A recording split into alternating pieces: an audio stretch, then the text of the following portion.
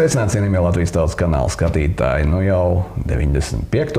95. reizi ar jums kopā nedēļas apskats, kas lācītim vēderā, un studijā jau kā ierasts ir lāči. Viss. Pietiks. Sveicināti, darbie Latvijas tautas kanāla skatītāji. Sākumā, kā vienmēr, atrunam disklaimers. Baigi svarīgi. Rudens, rudens, rudens. Viss, ko jūs dzirdēsiet raidījumā, tam nav nekāda sakara ar realitāti. Visi notikumi ir izdomāti un tikai šķietami jums var atgādināt jau kādu realitāti. Kristapam ar Oskaru, Annu, Dāci, Mārtiņu, Jezupu, Juri, Pēteri, Olgu. Obligāti jāsatās šis raidījums. Centīsimies ļoti ātri tikt cauri dažās stundās. Bet, lai jauks vakars, paldies visiem, kas atbalsta Latvijas tautas kanālu. Paldies, kas dalās, kas raksta komentārus gan tiešraidē, gan um, pēc tiešraides. Tas ir ļoti būtiski, lai kanāls attīstītos. Paldies jums par to, ka esat kopā ar mums. Va, kur skaisti. Jā, nu ko? Ķeramies pie ragiem, vai pie kājām, vai pie kaut kā vēl tur, ejam uz sazinī. Un pēdējā ziņa, ko tu iemeti attiecīgi. Uh, Kur? Kur es viņu iemetu? Čatā. Uh, ir arī pirmā ziņa šodien, lai cik tas nebūtu apbrīnojami. Mm -hmm. Un, cik es saprotu, tas ir atgādinājums. Protams. Atgādināšana, zināšana. Nav ne māte. jausmas, ko es tur iemetu, bet es tev piekrītu. Jā, parādīsim ekrānā, jā, tad elektrostaciju parku ieceras Latvijā. Nu, tas ir vienkārši atgādinājums, ko viņi taisās te sabliest, sabūvēt un tā tālāk. Jā, šie ir aktuālie projekti 2024. gada jūlijas apkopojums. Drīz mums atsūtīs arī par septembri, un proti mm, ir kādi projekti, ko mēs redzam, ko jūs redzat pēc tam uzspiežot pauzīt, varēsiet papētīt šo ā, sarakstu, kāds ir atcelts, kāds nav atcelts, ar zaļu apvilku tie, kas jau ir tuvu ā, būvniecības mēs uzsākšanai. nolasam. O, nē, mēs nelasīsim šobrīd, jo es sazinājos ar, ar cilvēku, kurš mums šo informāciju sniedz. Un ļoti, ļoti piekodināja, ka es ļoti vēlos to, ko viņš man telefoniski izstāstīja, lai viņš padalās ar to arī ar Latvijas tautas kanāla skatītājiem. Jo informācija ir, maigi sakot, kliedzoša. Tas, kas šobrīd notiek visā Latvijā, pašvaldībās, gan ar apspriešanu, gan ar gan ar uh, materiāliem, gan ar purvu nosus- nosusināšanām un ceļu izbūvēm un tā tālāk un tā joprojām. Šo jums ir jāzina. Es nesaprotu, kādēļ vispār par to vēl nerunā, bet izskatās, ka šis projekts, ko sauc par zaļo projektu, un kur tur ir klimata un enerģētikas ministrija, un kur tur ir pašvaldības, un kur tur ir uh, Latvijas energo un Latvijas valsts mežu jaundibinātais uzņēmums, kur izrādās arī jau ir notikušas mājas un schēmas, tiek zīmētas nepajokam, un kur tur ir slavenie um, oligarhi ar uh, burtiņu AAA. Uh, atkal taisa jaunas apakšfirmas uh, ar saviem ģimenes locekļiem. Viss tautas, viss tautas labā, protams, jā. Bet par šo es ļoti ceru, ka drīzumā mēs sagatavosim ļoti nopietnu raidījumu, lai runātu cilvēki, kas šo lietu zina, izpētījuši un iedziļinājušies. Bet kamēr mēs te runājam, pirmie būvdarbi jau tūlīt tiks uzsākti Tārgales vēja. Mm -hmm. Tas mums to būs. Es tikai Parkā. gribēju piebilst, ka no šī saraksta vienīgais, kas te ir zaļš, ir tie, kas ir apvilkti zaļu. Riņķīti. Jā, nu, tie, tie, kas ir, viss ir. tas vēl ir projektā. Tas vēl ir izstrādes jā, stadijā. nosaukumi tikai, diemžēl, bet nu, tā tas ir. Šodien mums ir piekdiena, tad, tad trešdiena. Līdz 2012. vēl varēja iesniegt cilvēki -hmm. savus iebildumus, jo izskatās šobrīd pastāv liels bažas par to, ka publiskās apspriešanas likumā tiek ieviestas izmaiņas, un proti, vairs varētu būt, ka nebūs publiskā apspriešana, bet būs publiskā informēšana. Ko tas nozīmē? Tas nozīmē, ka sabiedrības viedoklis vairs nav svarīgs. Galvenais, ka mēs viņu esam informējuši. Cik pazīstami? Nu, lūk. Cik pazīstami, jā. Nu, jā, un te ir nākamais, jā, tātad par to tārgalu runājot, varam parādīt virsrakstu. Milzīgs saules parka projektā tārgalē ieguldīs 80 miljonus eiro. Uhu, bildīt jau viss ir nu, tāda iespaidīga, lai neteikt vairāk, jā. Nu, kas mums te ir rakstīts par to visu? Līdz būvniecības posmam nonācis atjaunotās Atjaunīgās piedāvājuma vēl tagad tas tā saucās. Enerģijas projekta attīstītāja European Energy Saules parka projekts ar kopējo plānoto jaudu 148 megawati. Jā, nu, mums te kaut kas vēl ir jāizlasa, vai pietiks jau ar šo. Jaunais parks ik gadus spēs saražot ap 154,550 megawatu stundu tīras atjaunīgās elektroenerģijas kas atbilst aptuveni 60 tūkstošu mājsaimniecību patēriņu gadā. Projekta attīstībā uzņēmums ieguldīs 80 miljonus eiro, plānojot uzsākt zaļās enerģijas ražošanu jau nākamā gada beigās. Nu, ko Tārgale, apsveicam jūs! Sēdēsiet uz pannas. Nu, tā tas viss izskatās. Un platība ir 138 hektāri. Un jāsaka, ka viens cits līdzīgs projekts ar apmēram tikpat vēja ģeneratoriem tiek plānots Reizeknes pusē. Nu, tā jau ir ģeneratora daļa. Purvā, tas... purvā jā, bet jā. platība ir. No platība, jā, jā. Tā, tā ir 2000. Oh, forši. forši. Es saku, man visu laiku neliek mieru viens, viens jautājums. To, ka šī enerģija nu, nemaz tik zaļa nav, to mēs jau esam dzirdējuši un reizi vien. Jo galu galā, kurš šitos visus brīnumus likt, kad būs nākamā liela graudu krusta, nav zināms. Viņus utilizēt praktiski nu, ļoti dārgi, lai neteiktu vairāk. Ja? Un kāpēc man visu laiku neliek mieru doma, ka Latvija kārtējo reizi tiek izmantot kā tāda kārtīga miskaste, kur šie brīnumi visi saražoti pasaulē nenormālos apjomos, un gluži vienkārši neviens cits viņus nepērk, nu, tad pie mums viņus uzliek, ieguldot 80 miljonus. Jā, tas ir tikai viens vēja parks. Kaut kur lācīši dzirdēja pačukstēja, ka kopā ir virs 2000 vairāk tie ģeneratori paredzēti. Nu šis ir saules parks. Šis ir saules parks konkrēti. Jā, nu. Jā, jā, jā. jā. es tik tev piebremzēju. Nu, es pa vēja ģeneratoriem, jā, ir vairāk kā 2000 ģeneratoru paredzēts uzstādīt.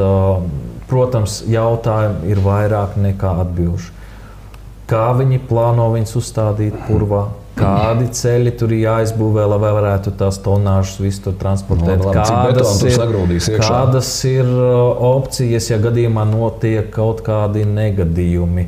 Un te Lācis dzirdēja, ka tajā vienā, tikai vienā, mm -hmm. tā ģeneratoriņā ir 6000 tonu piecu dažādu ķīmisku šķīdrumu. Un izrādās, ka ja gadījumā kaut kas notiek, neviens īsti neuzņemas atbildību, ko darīt, kā darīt. Jo tas viss, jūs saprotat, nonāks zemē, purvā, gruntsūdeņos.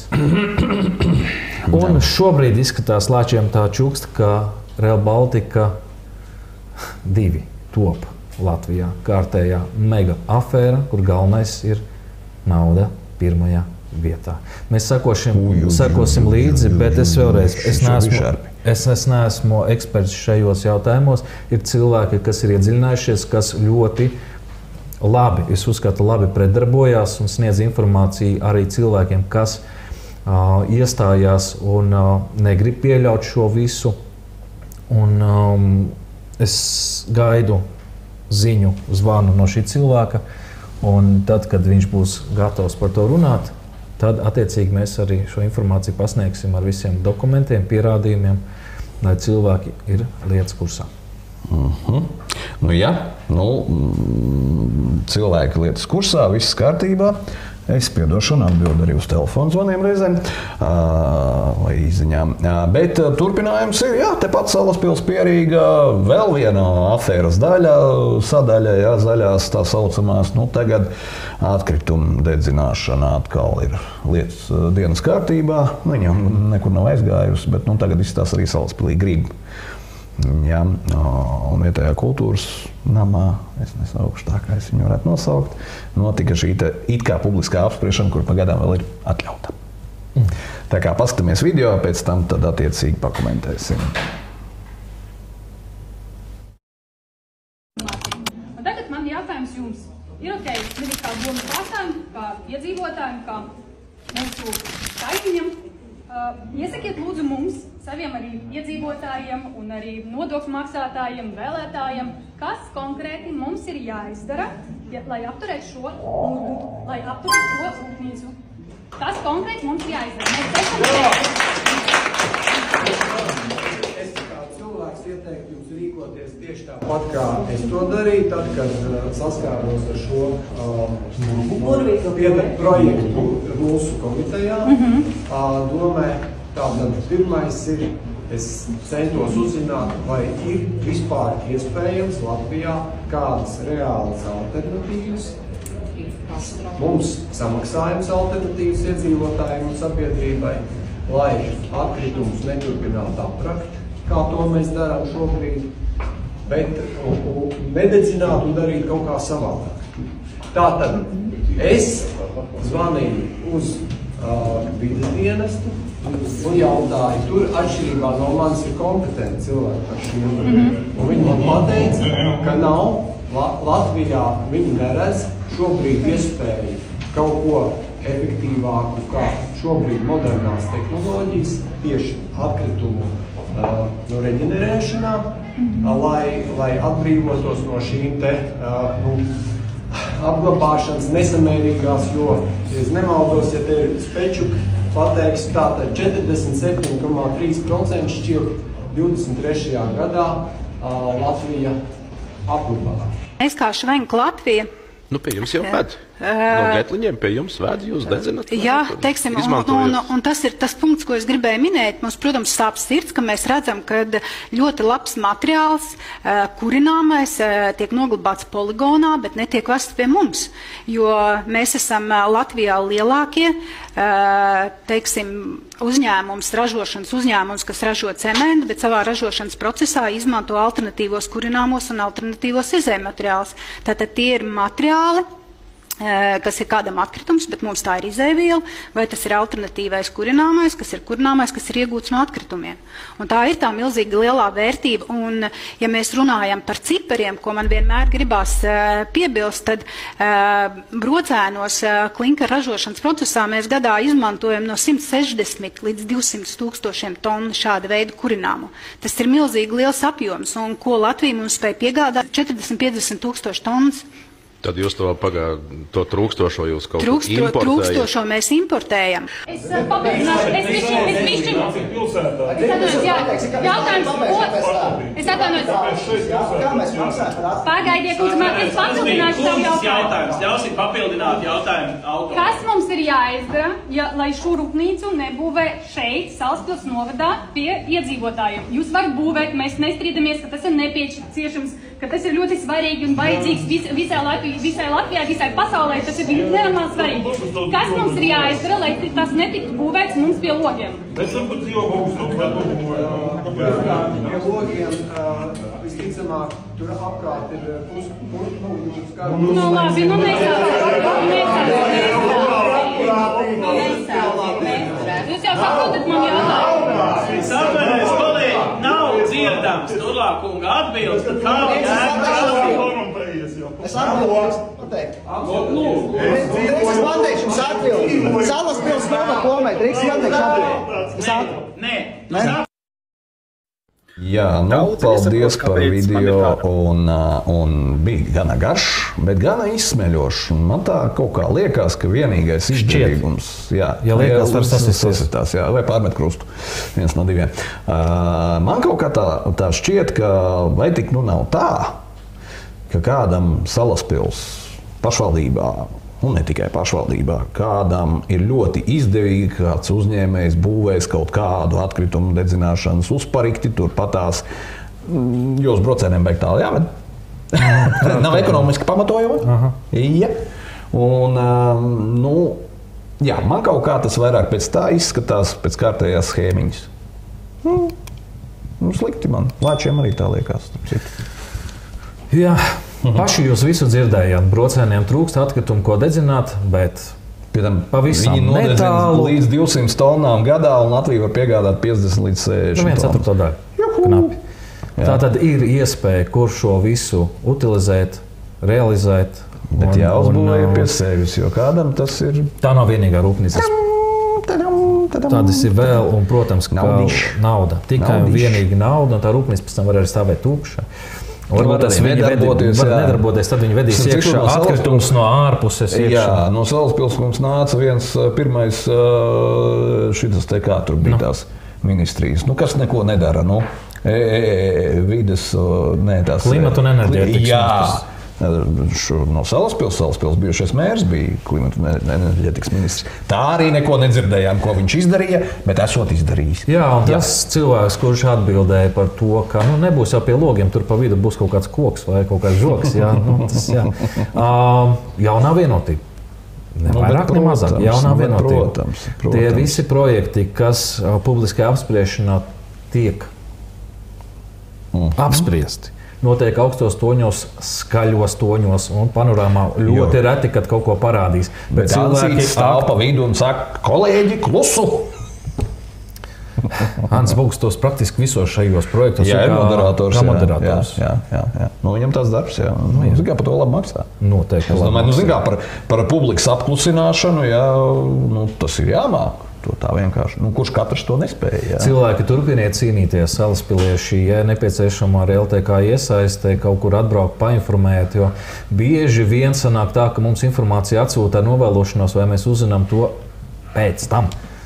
Nu, pacentieties, ja jūs zināt, ka noteikti vai tā būtu vēja parki, vai tie būtu atkritumu dedzināšanas, vai tie būtu saules paneļi, kaut kādi bezjēdzīgie lauki, vai vēl saules kāds jau cits, kas paneļi publiski jā. jums šķiet svarīgi un ko vajadzētu parādīt. Dodiet laicīgi mums ziņas, maz divas nedēļas pirms. Nu, būtu divas nedēļas, vēlams, nu, nedēļa arī Nē, būtu labi. vēlams divas. Mēs plānojam savu laiku ļoti nopietni, un tādēļ mēs nevaram izskriet pēdējā brīdī un, un, un, un, un būt klāt.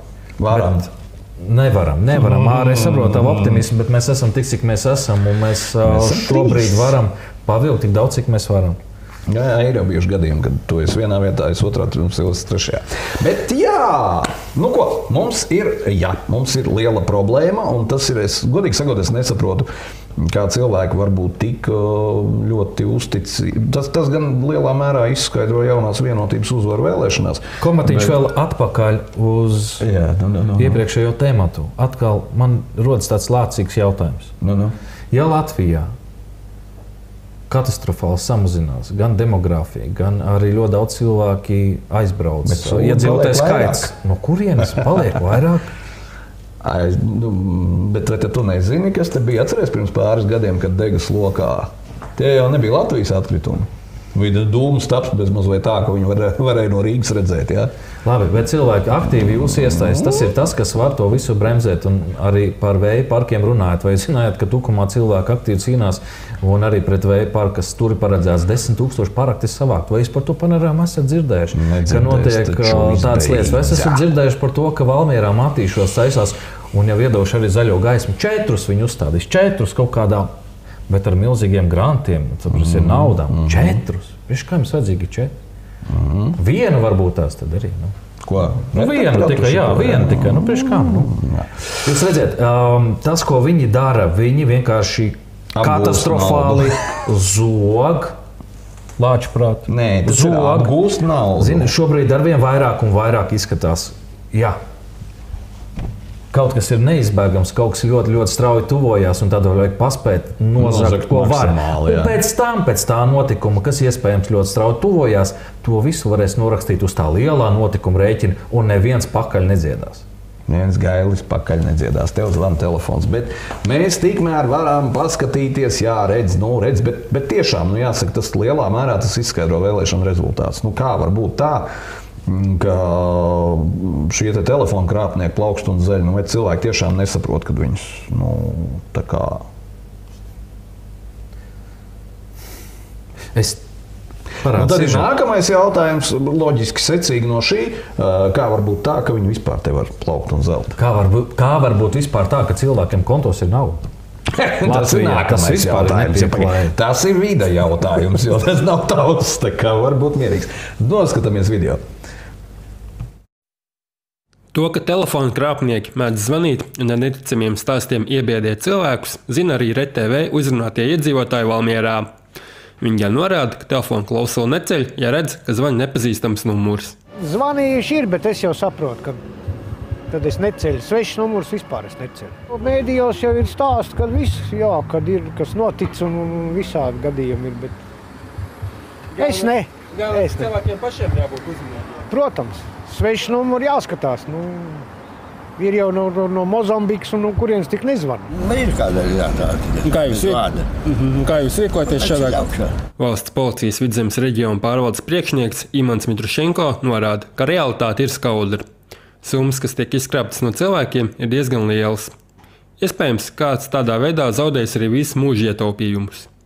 Tā piemēram, apkopojot informāciju par krāpnieku aktivitāti Valmieras novadā, redzams, ka ir uzsākt vairāk krimināla procesa par krāpnieku radītajiem zaudējumiem. No gada sākuma ir Valmieras novadā 20 krimināla procesi tādi uzsākti.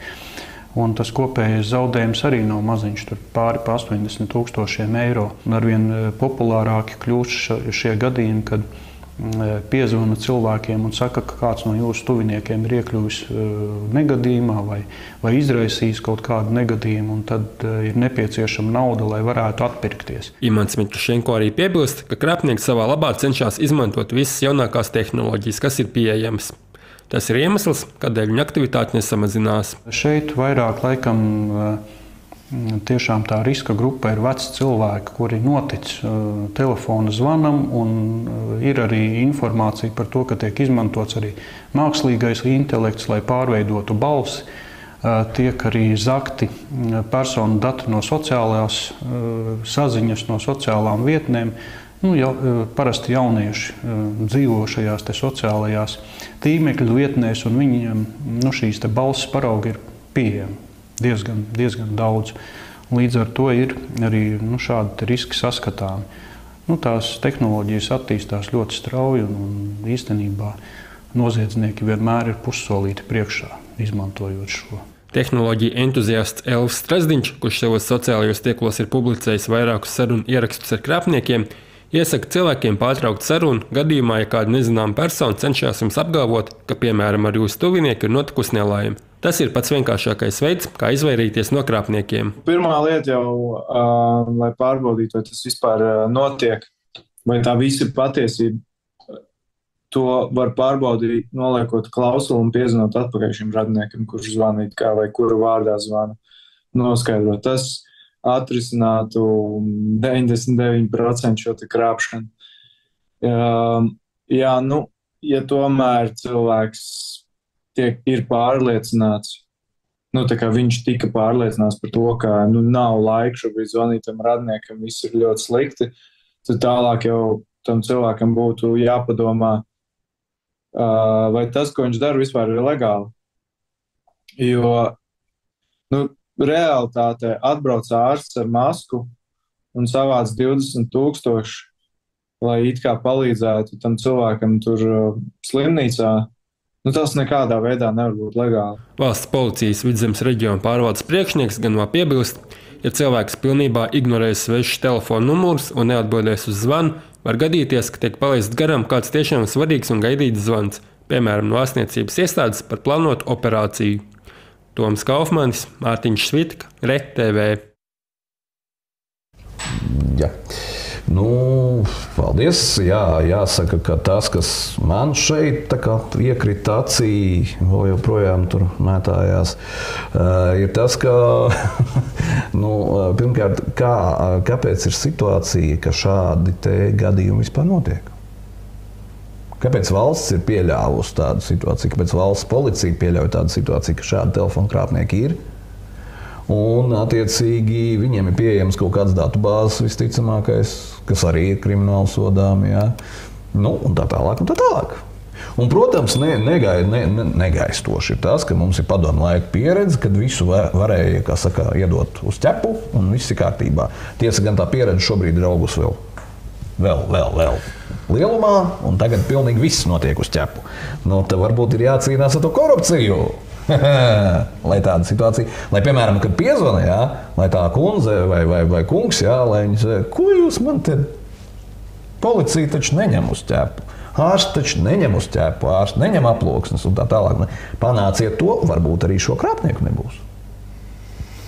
Jā, jebkurā mm -hmm. gadījumā esiet uzmanīgi, modri.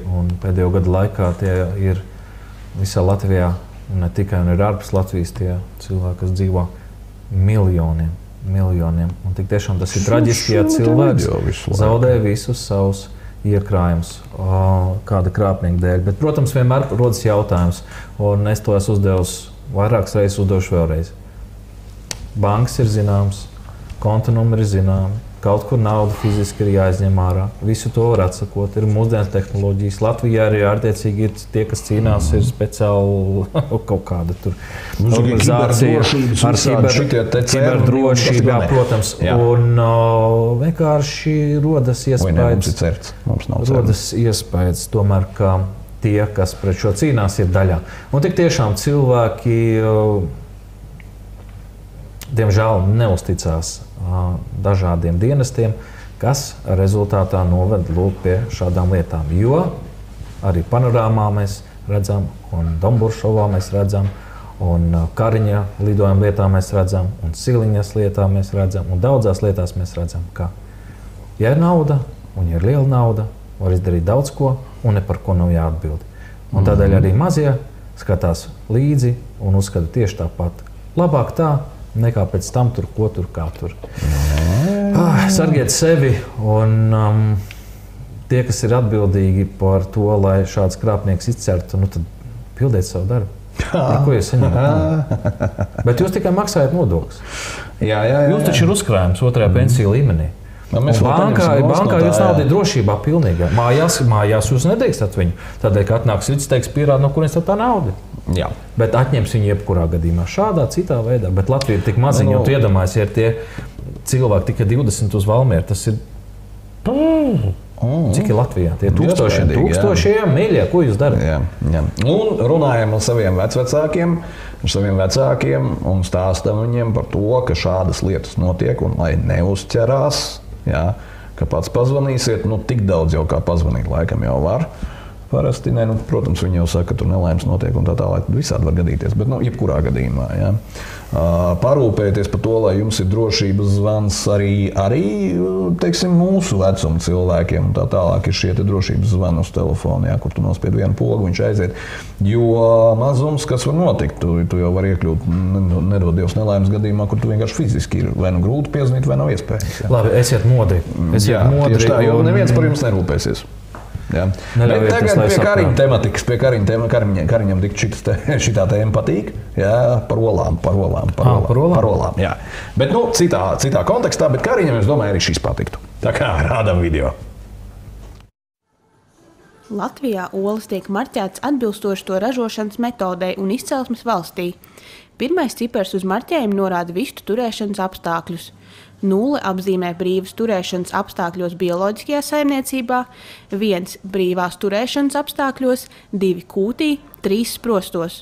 Olas, kas nav marķētas, ražotas neatbilstoši Eiropas Savienības standartiem. visas ražošanas metodes, kas ir atbilstošas Eiropas standartiem, ir legālas, leģitīmas un ražotāji ražo gan trešā, gan otrā, gan pirmā, gan nultā, kas ir bioloģiskās.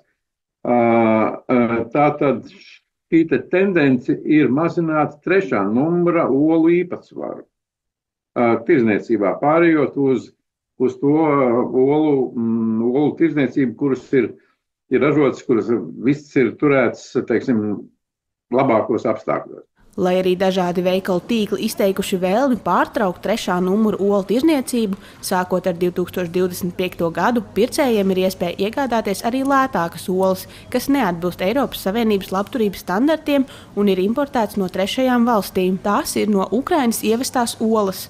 Pamatdoma tam ir ekonomiski palīdzēt kara skartajai valstī, taču Jāņa Gaigala prāt palīdzēt var citādākos veidos. Veselībai tās olas nav kaitīgas, ja vien tur nav salmonella, kā dažreiz gadās iekšā, jeb kādi teiksim, antibiotika atliekvielas, jeb kaut kas tam līdzīgs, ko konstatē. Bet, principā, tātad olas var ēst. Jautājums ir par ražošanas metodi un par attieksmi, par attiecībā pret šādām ražošanas metodēm, kas ir arhaiskas, senas un Eiropas Savienībā aizliegts jau kopš eh, 2000. gada. Tātad 2000, 12. gada. Ražotājiem, ievērojot Eiropas Savienības noteiktās labturības prasības, ražošanas izmaksas sadārdzinās par vismaz 20%, bet tirgū ienākot šādai produkcijai, tas rada negodīgu konkurenci un kropļo tirgu. Tā kā tendence Eiropā ir mazināt sprostos dēto olu ražošanu, arī ražotāji Latvijā ir gatavi pāriet uz otrās un pirmās kategorijas un bioloģisko olu ražošanu. Taču tās ir lielas investīcijas, tāpēc asociācija vēlas saprast arī tirgotāju nākotnes plānus. Šobrīd ir atbildējuši uh, mazāk par pusi, bet mēs vēl pagaidīsim, es līdz ar to nenosaukšu konkrēti, bet tās atbildes ir samērā, samērā tādas nu, vispārīgas, un es te varu notestēt. Pakāpeniski izbeigsim, iespējams, samazināsim, turpināsim darbu pie plānošanas. Līdz ar to, protams, tas virziens ir skaidrs, bet konkrētības nav. RTV uzrunātie tirgotāji norāda, ka viņu veikalos jau lielākā daļa ir brīvās turēšanas vai kūtīdētās olas. Tas ir bijis tāds ļoti ciešs darbs ar mūsu partneriem, un jau varētu teikt vairāku gadu garumā, un arī turpinām aktīvi strādāt pie tā, lai varētu to nodrošināt un piedāvāt cilvēkiem atvien vairāk laimīgās visu toles. Jo nu, tie ir 80%. Šis ir ļoti komplicēts process, kurā ir daudz un dažādi iesaistīto pušu. Tajā skaitā arī paši ražotāji un piegādātāji, kas nodrošina šo olu pieejamību mūsu veikalos. Un tas noteikti iet roku rokā. Tāpēc ikdienā ar viņiem aktīvi strādājot, mēs esam atraduši to veidu, lai, piemēram, šīs ārpus sprostiem dētās olas būtu pircējiem tikpat cenu pievilcīgas, kā tas ir varbūt tās arī trešās kategorijas olām. Es biju pie plaukta, es paņēmu vienkārši vienu kastīti, astos, viņš viss ir vesels, ok, ņēmu un liek groziņā iekšā un ej mājās. Nu tā, ka baigi nē, es baigi neiedziļinos, vai ir vai kūtī dētās, vai ārpusē dētās, vai vienalga kas cits. Baigi nē. Nu, cena tomēr, kas ir virs 2 eiro, tomēr mm, bišķiņā padomā. Nu, ziniet, ka mēs pensionāri mēs visu laiku meklējam kaut ko lietāku un nu, normālu termiņu arī, bet kā termiņš ļoti mazākais paņem ne divus, bet vienu kasteti. Jāpiebilst, ka jau šobrīd Baltijas lielākie olu ražotāji sākuši pāriet uz ārpus sprostiem turēto vistu novietnēm. Tā, piemēram, akciju sabiedrība Baltika Ovo to plāno izdarīt līdz 2027. gadam. Santa Bogdana, Emvats Mosakovskis, RTV. Jā, nu, paldies par video. nu, ko, ko lai saka? Nu, krāsojam olas. Ja? Nē, tas viss ir ļoti skumji. Un, um, es neiedziļināšos sprostā, ne sprostā, ārpus sprosta, uz sprosta, zem sprosta, ķekaus vistas, bet neķekaus no polijas ievestās, bet nosauc par ķekaus. Tas viss ir runāts gadiem, gadiem, gadiem. Es tikai pie viena atgriežos. Kad beidzot tauta pati sāks rūpēties par sevi, nevis domāt par citiem? Mēs esam tik ļoti labsirdīgi un tik ļoti ieinteresēti par visiem parūpēties pasaulē, tikai aizmirstam par sevi. Un otra lieta, kas šķiet nu, vienkārši absurda, absurda, un tas ir visās nozarēs. Kāda vēl? Nu, nu, nu, nu, nu, nu, nu. Kādēļ ir jāved tūkstošiem kilometru olu šeit, lai viņi apēstu? Nevis ēst vietējās, kuras nekur nav jāved. Kādēļ ir jāved āboli no Spānijas? nevis ēst vietējos. Un tas ir daudzās, daudzās, daudzās, kas tā transporta loģistika vispār tas to sadārdzina. Kāpēc cilvēkiem jābrauc no Liepājas strādāt uz Rīgas par doktoru, bet no Rīgas doktora brauc strādāt uz Liepāju par doktoru? Kur ir loģika te visā? Nav. Nu, jā, uzcepies. Bet redz, mums ir tāds pārtiks veterinārais dienas, kurš reizēm kaut ko arī dara. Dālā. Dālā. Nu, parādām, jā atsaukums. Šitos draņķus nevar pa divu eiro pirkt. Tas atkal pie tevis ogrē, ko jūs tur darat? Kristāla, mad, toksiskā elementa, bora, migrācija no rotaļlietas sastāvā ietilpstošās masas pārsniedz maksimāli pieļaujamo. Es nezinu, kas tas ir vispār. Slaimi tie ir. Kas? Mīcām, par rokām, staipām, mīcām, Nu, liekām. Bērniņiem nezinu, jā, jā. jā, jā. agrāk izmantoja psihiatriskajā slimnīcā, lai cilvēks nomierinātu nu, tur nerviem.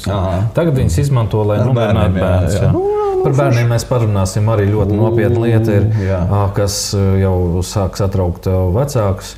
Bet par šiem slaimiem, ja jūs redzat, šeit ir konkrētie slaima nosaukumi, parādīsim tad, jā, jā, jā, jā, ja jā. atpazīstu, tad, tad ogrē ir kaut kāds veikals, kur tas ir iegādāts. Paņemiet, lai nesanāk jau kāds bēdas. Bet arī, kuri pārtikas veterinārais un visi tie pārējie dienesti, kuri šo pirms laišanas tirniecībā pārbauda, kur ir viņa atbildība? Nenormāli mēs ielaižam toksiskas rotaļlietas tirgu, bērniņi saslimst netīšām ar kaut kādu, Un jā, tad varbūt mēs- kaut un kas tur cits. Mēs viņas novēršam. Tas ir mūsu darbs, tāpēc ka bardaks ir. Bardaks ir it visur un it visā. Un, un, un, un, un reku nākamais bardaks, jā, tas jau sataisījies, te, ko te, te, te, te parādām virsrakstu. Vilnis ir alus cenu, vēlams reklāma. Uh, alus cenu Rīgā mēs vēl, neregulē, vēl neregulējam, bet prāmis ar Stokholmu un savu koncertu zāli mums būs. Nu, nu, jā. Mēs tālāk šajā mārī vispār neiedziļināmies. Tādēļ, ka Tādēļ, ka jaunā vienotība. Nu, bet, protams. Jā, nu, bet, Ui, Beidziet, koncerta zāle. Pauls, Paulam vēlreiz būs jāpiedzimst un jānodzīvo mūžs, lai koncerta zāle Rīgā sagaidītu. Jūs ielas sākumā sataisiet, sataisiet pie brīvības pieminiekļa toleti, savediet kārtībā, lai cilvēkiem nav kauns un jāiet čurāt pa labi, pa kreisi parkos kaut kur. Izdariet, ka, nu, tiešām kaut ko, nu, ko jūs varat izdarīt. Koncerta zāle būs, ja prāms viņiem būs. Mhm. Kāds ir prāmis? Pasies Igauņi smuki ar uh, Stokholmu attīst un palielina pasažieru um, skaitu. Bija taču prāvis, un neviens vien bija ar tālruņa. Kur tā, kur tā, kur tā palika? uzdāvināja, Un kas tā Igauniem savādāks notika? Nu, Igauniem nebija tik stulbi politiķi. Nu, tas- Nē, nē, nē, nē. Nu, Vilnis ķirs, nu, beidziet, tuvojas pašvaldību vēlēšanas. Šādi brīnumstāsti atkal parādīsies. Jā, nu, jā, jā. un man jau, protams, kā rīzniekam drausmīgi interesē, lai man būtu prāmis. Jā. Nē, zāle kā man arī un koncerts- zāle man arī vajag. Man es tā satrauc uz alus. koncertu aizēju, nu, tur reizi, jau uz varbūt divas gadā. Nu, tas ir viens mazs aspekts. Šis tas ir, uz ko var Nu, aiziet šis un bet vajadzētu aiziet. jā. Bet tas šis tas, uz ko ir jēga un var aiziet, kā likums maksā ļoti labu naudu. Nu, Un ģimene ar trīs bērniem uz tādu koncertu, maigi sakot, aiziet nevar. Nu, nevajag. Tikai deputāta ģimenes, bet deputāta ģimenei un ministriem, protams, ir ārpus kārtas ielūgumi. Vienmēr pirmais Jā, jā, viss ir rēģis, runājām par šo rezervēts. Opera tur bija rekordistos, laikam, jā, kad bija sadalījuši tos ielūgumus. jā. Nu, tas ir cits, bet neticiet, neticiet, neticiet šiem pasaku stāstiem. Nu, beidziet, vienkārši Bet- beidziet. Zini, kā vēl pirms gada, pusotra, nē, pirms, ko, pirms pusgada. Mē, mēs, man liekas, ar tevi arī esam par to runājuši. Nu, kad ienāk piesnieku veikalā un saprot, ka tu neko nevari nopirkt. Jā. Nu, tagad mēs esam nonākuši jau līdz šādiem virsrakstiem. Jā, parādām virsrakstu, iztērēsim 30 eiro un leduskapis tukšs jau pēc trīs dienām. Sabiedrībā saštums par vien augošajām pārtikas cenām un augstālāk. Un augstālāk liels paldies partijai un valdībai par to, ka nodokļi tiek celti un, un nekur jau tās cenas arī nepaliks. Piemēram, akcijas degvielai tiek celta, un tas viss atsauksies uz cenām. Jā, protams. Absolūti, jā. Un, līdz ar to nu, jā, 130 jau piesniegs jau vairs vispār neskaitās. Jā. Nu, tā jau arī ir principā, ko tu tiem 50 eiro tajā veikalā var nopirkt. Mm, Nu tā, jā, labi dzīvojam. Ko lai vēl saka? Nē, nu, cenas, protams, ir katastrofāls. Jā, jā, jā. jā, jā. Uh, bet te, vot, mums šodienas raidījumā divas reizes šī tā izpildās uh, Indriksone. Jā. Ja nemaldos, tas ir Nacionāla apvienība. Jā, viņi ir. Jā, jā, bildīt, vai parādīsim bildīt ar visu reklāmiņu. Uh, jā, Indriksona, ja mēs palielināsim akcijas nodokli degvielai, tas īpaši sāpīgi skars tos cilvēkus, kas dzīvo laukos. Ne, tas īpaši sāpīgi skars visus cilvēkus, ne tikai tos, kas dzīvo laukos. Bet, nu, protams, ka tagad tās vēlēšanas nāk un redz, no, No kurienes tādas rūpes? Jā, jā, kuri pēkšņi nu, tā, tagad nu, ir sašūmējušies. Jā. No kurienes tādas rūpes? Stāsta visu pēc kārtas, kurus tur skars, kurus tur nē. Nu, protams, ka skars. Nu, loģiski, ka Jā. skars. Nu, kāds var neskart, ja paliek dārgāk? Jā. Ja Igaunijā nodokļi ir augstāki, kāpēc lai mēs nece- neat- neceltu arī savus? Tas ļaus iekasēt vairāk naudas, ko var izmantot veselības aprūpē vai citām vajadzībām. Ē. Mīļie veselības aprūpes darbinieki, mīļie skolotāji, jums neko neizmantos no tās naudas, ko pacels nodokļus. Tas viss aizies tankos. Un puķa zobos, un vēl kaut kādos visādos brīnumos. Lai gan, kā mēs pagājušajā raidījumā rādījām, pirmais Latvijas aizsardzības ministrs Tāls Junkas teica, nu, ko jūs te vispār? Esiet kritiski attiecīgi uz ikvienu deputātu ministru izteikumu. Bet Šobrīd, pirms, šobrīd pirms uh, notiek budžeta, jā. budžeta apspriešana un uh, pašvaldību vēlēšanas, kas tuvojās, tur zila brīnumi tiks solīti. Nu, kā var Mhm. nesolīt? Nu, neticiet, nu, cik var kāpt uz vieniem tiem pašiem grābekļiem. Un runājot par Indriksonu, jā, viņi uzskata, ka skars. Bet uzreiz parādās vēl 55 citi raksti, kur ir eksperti. Nav vārdu, nav uzvārdu šiem ekspertiem, bet eksperti saka, nē, tas taču neko neskars. Nu, pff, Mhm. Protams, ka ne. Viņiem neko. Nu, viņiem jau valdziņas ir tādas, kādas viņas ir. Bet te bija, jā, te bija, te bija kas notiek Latvijā. Un, un, un, un, un nu, redz, kā te jau tas virsraksts ir tik skaists. Man ir jau. ļoti slikts garastāvoklis. Kāpēc? Tādēļ, ka laba nav, jā. Latvijā viss ir ļoti labi. Jā, tad, Pilnīgi gribas, tad tev ir slikts. Pilnīgi, lai būtu kaut kas slikts, bet tu visu laiku tikai labas ziņas lasi. Tu kaut kas arī slikts ir. Viss ir absolūti skaidrs un saprotams. Tikai viens ne. Nu, kur ir palikuši sanitāri ar trako krēklu? Kas tad tur atkal viņam noticis pa ķīvešanos? Nu, Brīškens ar Kulbergu villojās. Vai Dievs. Nē, paskatāmies, paskatāmies, paskatāmies. Jā.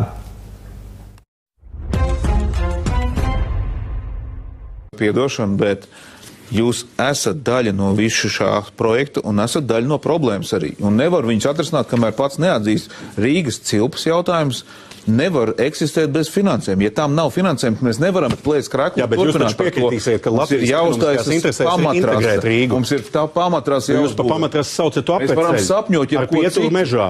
Nevis Piedošana. pietur Rīgas centrālajā stacijā un Rīgas lidostā. Es tomēr uzskatu, ka Latvijas ekonomiskajās interesēs ir, ir mūsu Intereses, jā, bet cik tas maksā? lidost savienot. Atvainojiet par kādu naudu. Ja Bet ir 1,2 naudas nav, miljardi, Mēs tikko konstatējām, Tikai naudas nav arī 1,2 vertikālē. miljardi, un cits naudas Jums nav. Nu, tad mēs Tad tagad ko? veidojam šo savienojumu uz dienvidiem.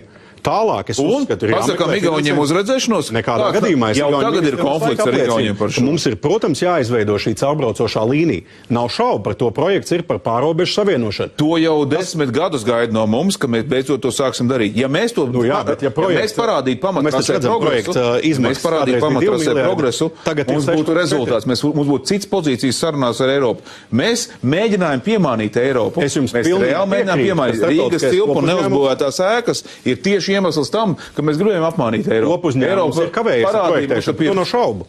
Par to nav ne mazāko šaubu. Tur kavēšanās ir, ir ļoti pamatīga. Tas, ko jūs izglēmējat, ir noņemt vienas lietas. To nevajag paziņot Ne, to- cilvēkiem kā ietaupījumu. Nē, to tas iepriekš jau tas ir finan... tehniskā darba grupa, ka tas ir vienīgais veids, kā fundamentāli ietaupīt šīs Nē, tā nav ietaupīšana, izmaksas. piedošana. Es piekrītu, Tā būs tā daudz, tā būs četreiz dārgāka lieta pēc tam. Bagāts kā grib, nabaks kā var. Šajā gadījumā, uzbūvējot uzbērumu diviem sliežu ceļiem, sākotnēji uzliekot vienu, jā, nākotnē būs dārgāk uzlikt šo otru sliežu ceļu. Daudz tas ir veids, kā mēs izveidot neizpildīsim neko no ieguvumiem.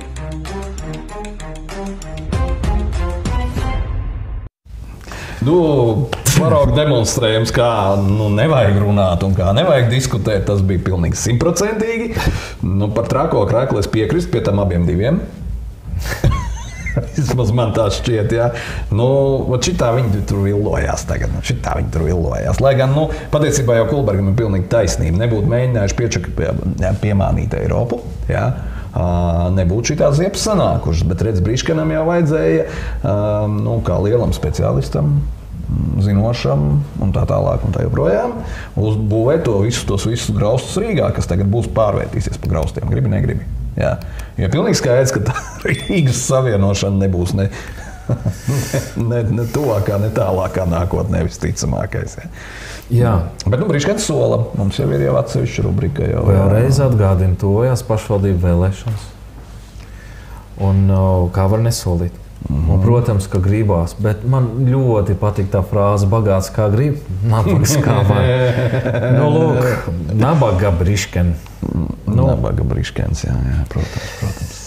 Bet, nu, es jā. nezinu, es to, es to nevaru klausīties, darbie Latvijas tautas kanāla skatītāji. Es jau Silvestram teicu, izlaidu man Jā, jā, jā, jā, es Tas nav to, jā, pieņemami. Un, un nu redz, Latvijas televīzijai un Dombaram ir vajadzīgs šovs. Nu, vēl dabūja tautā ir iesaukts par Dombu šovu. Jā, jā, jā. Nu, viņš Vajadzīgs ir kaislības, vajadzīgs ir bezjēdzīgas diskusijas, emocijas. Jā.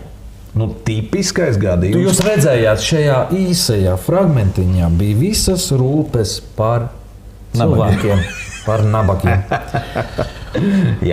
Jā. Nu, tipiskais gadījums - pilnās simts. Kulbergs ir apvienotā sarakstā. Jā, jā, jā, jā, jā, jā. Ja Kulbergs būtu pozīcijā, Viņš ir šobrīd, tāpat, tikai pretēji, jā. Un Briškans būtu opozīcijā, viņi runā tieši to pašu, tikai mainītās pozīcijās. Jā. Bet, Bet skaidrs, skaidrs ir viens jautājums, ir, kad šie noziedznieki sēdēs Lietuvas cietumā. Jā, šito mēs baigi sinhroni pateicām. Bet bardaks ir visās jomās, visās, pilnīgi visās jomās. Un reku mēs varam parādīt virsrakstu. Tas nav bardaks, tas ir organizēts hauss. Jā.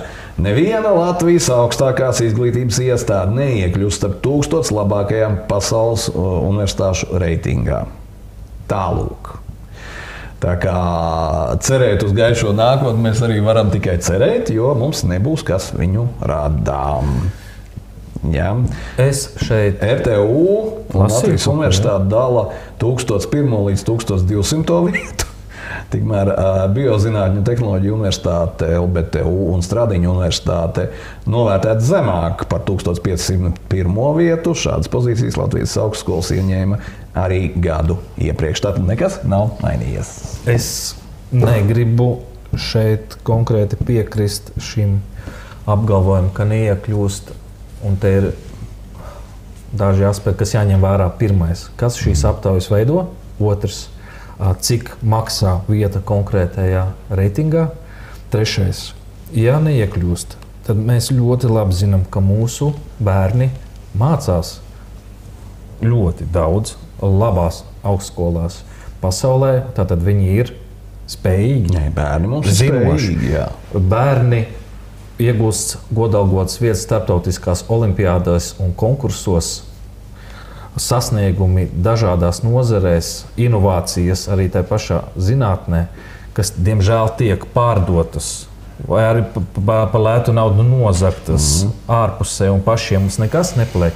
To mēs visi zinām. Tādēļ, ka latvieši un Latvijas tauta uh, ir spējīga, uh, izglītota un izglītoties vēloša, nu, griboša un sasniegt daudz ko griboši. Bet Jā, kādēļ bet ir šādā veidā tiek arī, es redzu, ka šādā veidā tiek arī pazemota uh, gan, gan visa izglītības sistēma, gan, gan, gan Latvija, gan, gan uh, tās Mīļo, potenciāls. Ja? Mīļo, kas par? Es Jūs neesat Eiropas- potenciālu. jūs neesat- Es, es runāju par ko citu. Es runāju par to, ka, piemēram, Latvijas vidējās izglītības šie te Vidēja izglītība nav obligāti Ne, es, es vienkārši tev pieminu to. Jā.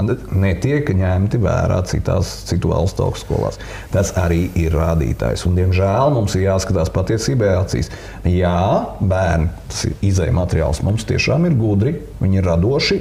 bērns par spējīgi. izējas materiālu. labi, labi. Uh, bet tas, tas, kāda mums šobrīd ir izglītības sistēma, ir tieši tas pats, kas ir čakša. Jā. Diemžēl. Mhm.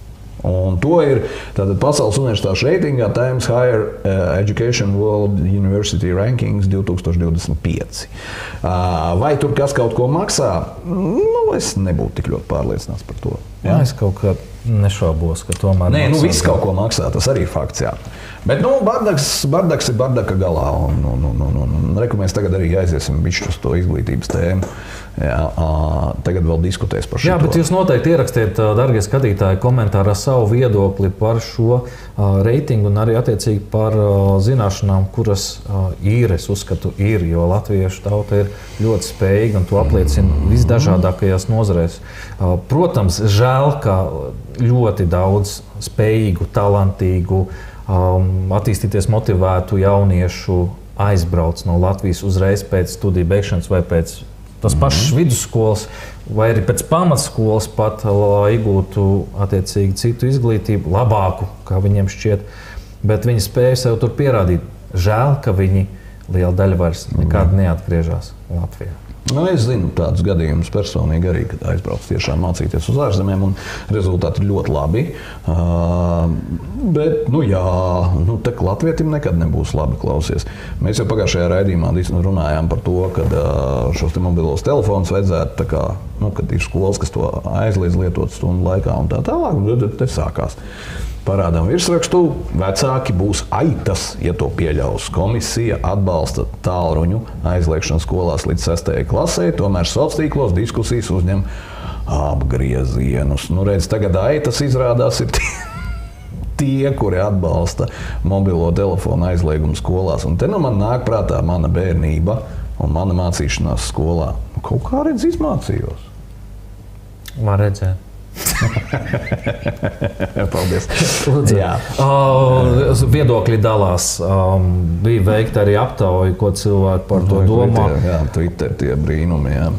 Lai gan nu, tās aptaujas arī ierakstiet komentāru, nu, ko mēs te mm -hmm. lāči arī tikpat gudri. Nu, kā, kā visi Latvijas tautas kanāla skatītāji. Cik man ir nācies runāt ar pedagogiem, kas reāli strādā skolās, nu, tas, ir, tas ir vajadzīgs. Jā, jo, jo savādāk tu to bērnu vispār nevar savaldīt. Divējādas sajūtas, divējādas sajūtas. Un, um, Vajadzīgs, nevajadzīgs sazvanīt bērnu, nesazvanīt bērnu. Varbūt bērns kaut ko var nofilmēt, Nē, nē, ko ir vajag nofilmēt, jā. un ko savukārt viņš nevarēs izdarīt, ja viņam nebūs šādas iespējas. Mēs ļoti labi zinām, cik bērni ir integrēti iekšā sociālajā vidē, un viņi vienkārši trīc un, un, un, un krīt. Ja viņiem nu, Instagram, TikToks un nav kāda ziņa izlikt un posts. Un tā komunikācija Nu, tā- savstarpēji, bet ir vēl ka, mm, tas pats, ko mēs visu laiku brīdinām par tām visām Stambulas konvencijām, LGBT un visām pārējām citām lietām. Ja Nu, tur mēs tas viss notiek, mums, mums trūks informācija, jo vienkārši nebūs iespēja to visu. Nu, ā, tam es atklāt. piekrītu, jā, Iespējams, ka ir kāds kompromiss tajā, ka klasē varbūt ir viens vai divi klases vecākie. Uh, nu, skolēni atbildīgi, ja, kuri, kuriem ir tas telefons. Ja gadījumā kaut kas, viņš var iedot. Tur jau bija, tur jau bija risinājums. Arī, viņu var sazināties ar jebkuru Jā, ir tas klasē. viens numurs, uz kuru var sazināties ar bērnu. Nu, ja kaut kas pēkšņi vai bērns sazināties ar vecāku. Jā. Ir tādi risinājumi, viss jau tas ir. Jā, tiesa man te jāpiekrīt par to Stambulas konvenciju un visiem tiem brīnumiem, ka jā, tas varētu būt. Ka bērni tiešām varētu kaut ko kādreiz nofilmēt, un, paldi, un tad mēs tikai to uzzinātu, kas tur notiek. Jo Mēs labi zinām, ka skolotāji tiek triekti ārā un, un, un, un, un, un, un tā tālāk.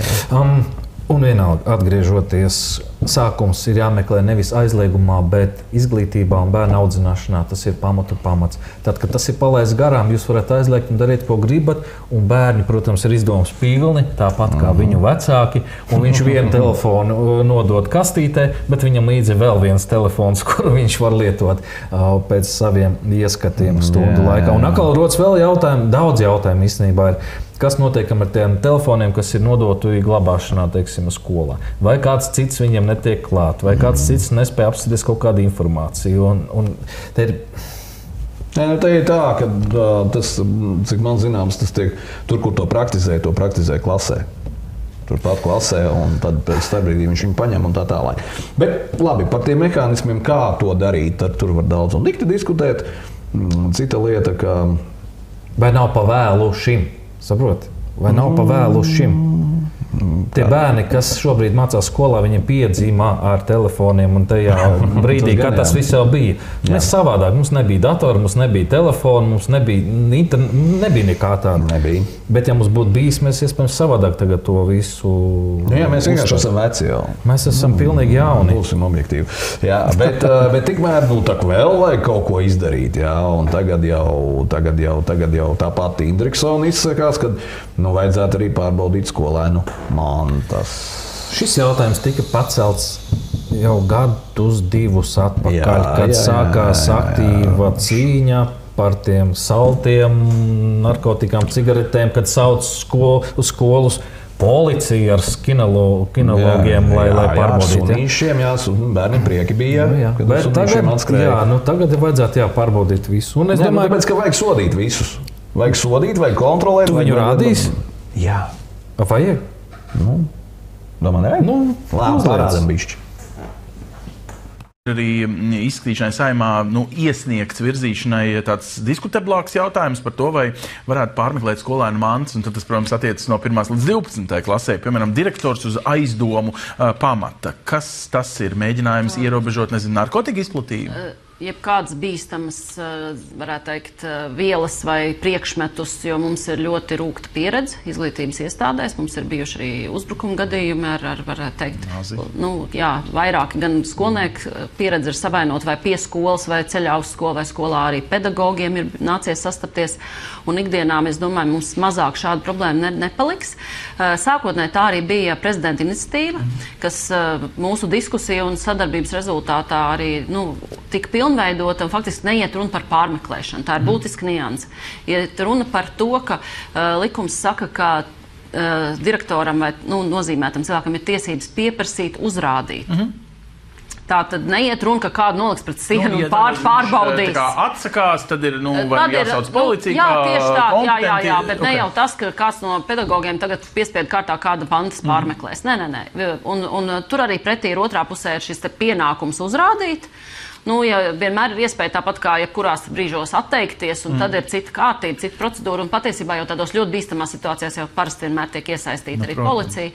Un tas nav domāts tā, ka man šķiet, ka tev ir kabatā apmēram kaut kas, kas ir aizdomīgs. Tur parasti tie, tās ir situācijas, kur mēs saprotam, ka tiešām ir, ir bīstamība. Tāds. ir vajadzīga ātra reakcija. Labi. Kāpēc mēs nevaram izdarīt tā, ka mums šāda problēma nemaz neparādās? Kāpēc mēs nevaram izdarīt tā, kā beidz manos laikos arī bija? Nu, bija mēs stiepām cigaretes iekšā skolā, pēc tam starpbrīdī skrējām pīpēt, un ko tik mēs nedarījām. Jā? Bija arī, kad uz disenēm, nu, tāpat jau bija tas, tas alkohols kaut kāds un tā. Bet eh, man jau nu šķiet, ka tie skolotāji, tie audzinātāji ļoti labi zina, kurš ir tas, kurš varētu to darīt, kurš to dara. Nu, līdz ar to arī to var novērst. Un tad nebija nekāda vajadzīga regulējuma. Vienkārši to paņēma aiz skvarķika, izkratīja, un viss. Ar to arī beidzās. Jā, bet par ko, par ko, par ko mēs esam pārvērtuši skolas? Cietumiem. Par ko mēs esam pārvērtuši skolas? Jā, jā, jā. Bērniem nemāk lasīt, nelasa grāmatas, smēķē, lieto narkotikas, viss tas skolas laikā, mm. telefoni, datorspēles, vardarbība pret klases biedriem, mobbings, vardarbība pret skolotājiem, skolotāju nervu neizturēšanas gadījumā, vardarbība pret skolniekiem, kautiņi pēc skolām. Drausmīga diskriminācija pēc tā, vai tev ir Jā, saprot, ja tāds apģērbs vai cits ja apģērbs, vai sāksim, vecāki ir vakseri vai antivakseri. vai tur- aizbrauksim mauzās, Jā, bet par ko ir pārvērsta skola? Un tie, tie, tie cilvēki, kas saka, ka skola, vismaz tā sistēma, kas bija vēl kādu laiku atpakaļ, sevi ir izsmēlusi un ir jāiet uz jauniem risinājumiem. Bet viņi spītīgi, spītīgi to negrib darīt, jo viņiem tās ā, masu paklausīgo aitu ražošanas iestādes ir nepieciešamas. Lai viņi darītu to, ko vajag, jā, lai viņas turētu tajā stresā. Jo, jo tā sakne vēlreiz, tā ir sabiedrības, visas sabiedrības problēma. Nu, mēs to varam redzēt, varam to neredzēt. Nu, mums tas ir jāatzīst. Nu, tā ir. Tie nav nekādi svešie, tur tie bērni kaut kā tur. Es nezinu, Mhm. tur Valmīrā vai Reizekne. Jā, es dzīvoju tur pats vai Mārupē vai Jurmalā. Mūsēji, mūsiet noteikti par mūsiem. Nu, nezinu. Tie ir mūsēji bērni. Nu, tie jau saprot, Tie ir mūsu bērni, kas, kas skolā dara to, ko viņi dara. Tagad uz skolu tagad pārbaudīs viņam, kas viņam ir uh, somā. Un, ja gadījumā viņš atsakās, tad sauks policiju. Ar visiem sunīšiem. Nopietni. Jā. Nu, te jāsaka tā, ka tas ir ļoti lielā mērā, manuprāt, atkarīgs no pedagoga. Ja? Un vislielākajā mērā, starp citu, tas ir tas, ko mēs, par ko mēs visu laiku runājam, kad ā, kā tad, nu, tā nākās. Ka Mums ir ļoti daudz šo nekontrolējumu bērnu skolās. Vai tas nav saistīts ar Covid laiku, ar sēdēšanu mājās, attālinātām mācībām, vai tas nav saistīts ar tā ir tikai reklāma, kompleksējām kaut kādām vakcīnām, kuras atstāja zināmas, zinām iespaidu uz bērnu veselību un uzvedību to starp. Jā. Es uzskatu, ka bērni nav vainīgi. Tā ir mūsu atbildība. Tieši par to es saku. Lai mēs paši neesam vainīgi pie tā, mēs esam pieļāvuši visu šo te vājprātu, un tagad mēs runāsim par nākamo vājprātu, ja, kas ir atnācis līdz Latvijai. Lai gan savulaik mēs par to runājām, kad divi mēneši vai trīs, ja, tad vēl nebija. Tad vēl nebija, vai arī mēs nezinājām par to. Ja. Lai tas viss nav saistāms arī ar visām Stambulas konvencijām, ar visiem šiem brīnumiem, kas te ir pieņemti, sapieņemti un tā tālāk. Un tagad jau viņiem atkal ir pamazs. Nesen jau bija atkal pikets, ka viņiem jau vajag reālu laulību, nevis ot, to partnerattiecības, jā, kas viņi ar to ir pamazs. Vai, vai Dievs, tu varētu uzdot uh, jautājumu, cik šajā laika posmā, kopš Stambulas konvencija ir pieņemta, Daudz, Cik partneri? jā. nē, es atvainojos, nejauksim. jau Stambuls konvencija ir par Jā, partnerattiecību. Viņas Ir partneri Jā. attiecība, jā. Jā, jā. Um, cik tādu partnerību ir noslēgts? Nu, kam vajadzēja to visu ažiotāžu un ņemšanos? Nē, es gribētu atrast to pensionāru pāri. Atcerieties, kas tika stāstīts. Tas div, div, divas tantiņas, ja, kuras ir nolēmušas dzīvot kopā un tad saņemt pensiju kopā un visu tur varētu mantot. Un tad- Tād- Es vispār tāds es pāris nav pieteicies vispār. Tieši tā. Labi, par ko tu nu, par runā? Runājot, re, kur ir. Nu, varam, varam, varam sākt rādīt video. Nu, Rādām. Nu, kur ir satraukti par kādu jaunu bērnu trendu, un viņi pievienojas mums video no platformas TikTok un vaicā, e, un raksta mums tā. Meita jau vairākas nedēļas rāda šādus līdzīgus video savā telefonā. Cilvēki, dzīvnieku maskās, te vajadzētu mums arī redzēt, rāpoši četrām skraida, bet es nevaru izprast, kāds ir šīs nodarbes mērķis, vai tagad visiem bērniem jāpārto par dzīvniekiem, un tad tas skaitīsies stilīgs. Kas tas ir, tā prasa māmiņa. Jā, nu vai tā ir vienkārši nevainīga spēlēšanās, vai tur ir kaut kas dziļāks apakšā, to mēs mēģinājām noskaidrot.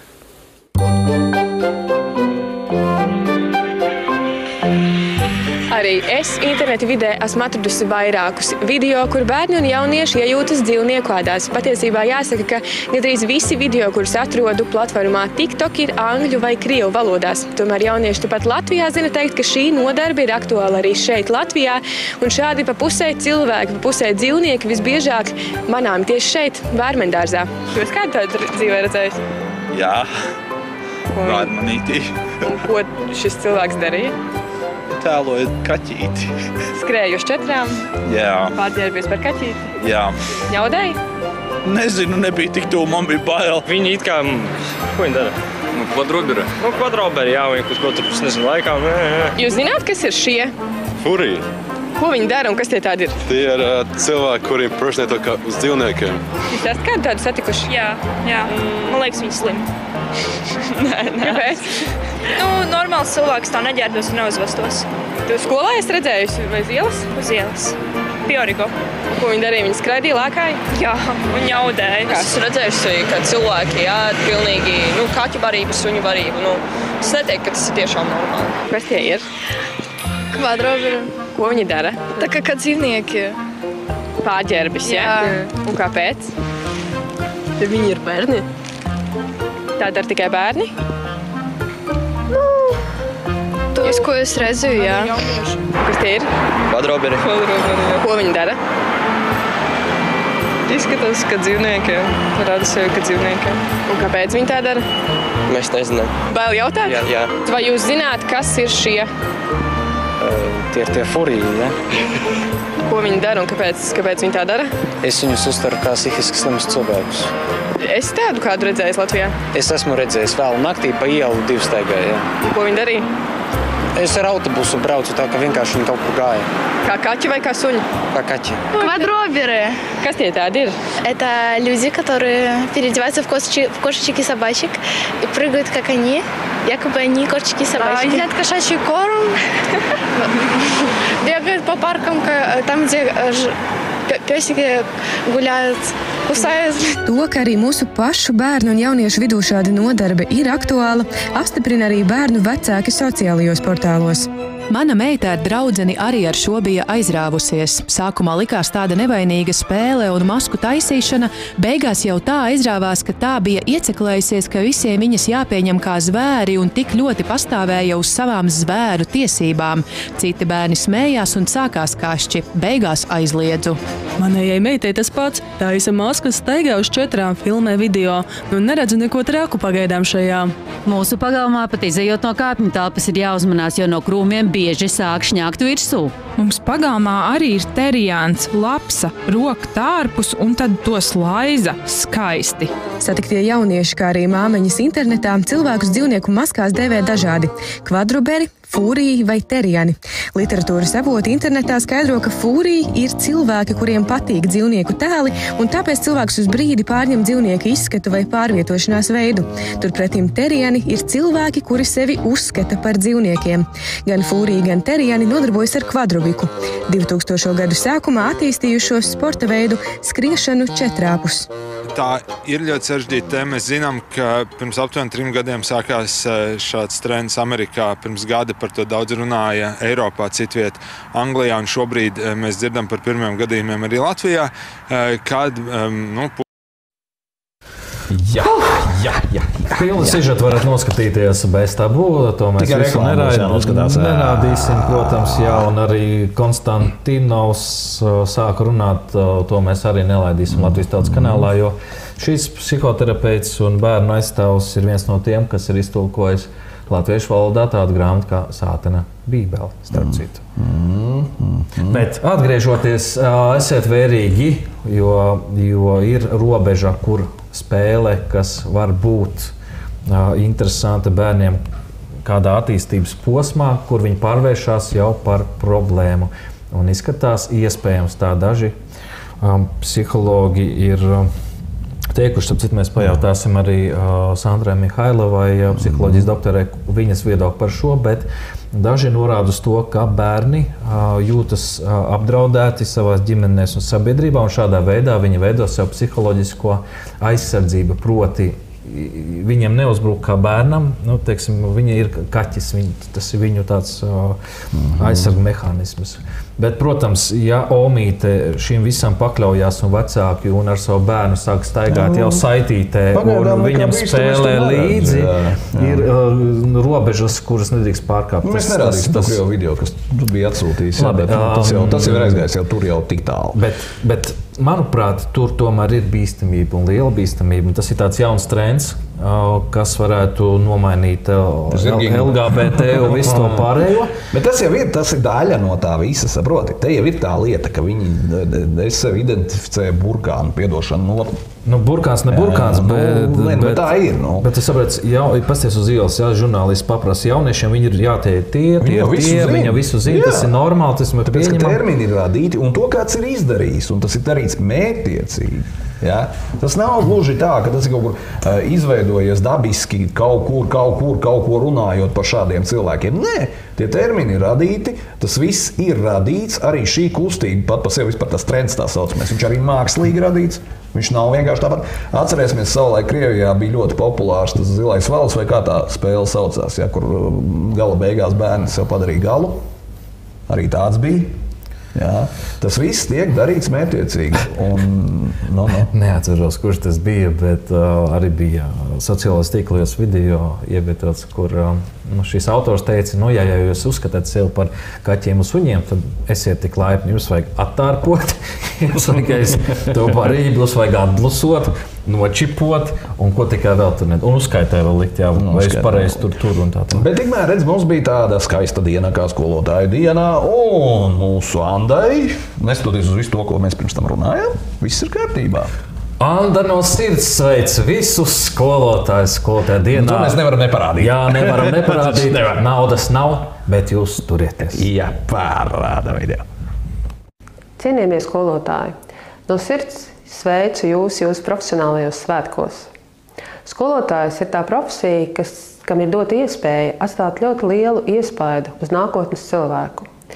Caur šodienu atstāt iespaidu, kas vēl gadiem rezonē bērnos. Es varu ar savu piemēru teikt lielu paldies skolotājiem, kas strādāja ar mani un mudināja skatīties ne tikai uz vietu, kur es tajā brīdī stāvu, bet ieraudzīt lielākas detaļas un lielāku laukumu. Tas palīdzēja man skatīties situācijās, kad viss liekas neatrisināms, atrast tos pavadienus, kas padara situāciju atrisināmu. Lai jums priecīga šī diena, un lai jums pietiek spēka, pacietības un mīlestības. Katru dienu strādājot ar bērniem, katru dienu strādājot skolā. Paldies jums! Jā, nu, redz, jā, jā, jā, nu skaisti. Andai, Andai paldies par neko. jo neviens neko nesaprata, principā. Viņas, ku- viņa ko kaut kur mūgā? stāvēja. Nu, viņa stāvēja. Tad viņa paskatījās, jā, kur viņa stāv un jā, ieraudzīja jā. laukumu. Jā, redzot, jā. viņa kaut kur gāja un pēkšņi nonāca kaut kādā futbola laukumā vai kādā mm. lielākā. Ieraudzīja detaļas, lielas, nu, tur futbola vārti. Nu, īsāk sakot, sviests. Bet, nu, jā, redz, reku mums ir iedzīvotāji nepatika pret skrejriteņiem. Tā, nu, beidzot, mēs esam nonākuši, nonākuši līdz kas par mīļākajai tēmai šī Tā nav mana mīļākā tēma šī raidījumā. nu, labi, labi. Es vienkārši tā, es atceros, kā tu toreiz uzvilkies. Jā. Nu, tad tagad ir sākuši iedzīvotāji paši izpildīties. Bāž viņus visur, kur var iebāzt un kā arī nav met augšā un ko tik vēl te dara. Ļoti labi. Iedzīvotāji nepre, ne, nepatika pret skrejriteņiem sasniegusi jaunus augstumus, tie atrodami gan stabā, gan atkritumu tvertnē. Bet, nu, jā, ja jāsaka tā pavisam godīgi, es te ar vakar pastaigājos tur, tur, tur, tur, tur gar Daugavu un tā. Zinu, šitie te joki mazi. Joki mazie, viņi Jā. joprojām drasē tā, kā viņi drasē. Ātrumi ir lieli, braucot garām mm. pa gāju ietvi. Viņi nesamazina ātrumu līdz ātrumam, kādā kustās jā, soļot cilvēks. um, Ar ratiņiem viens solis pa labi, pa kreisi, un tur ir bēda.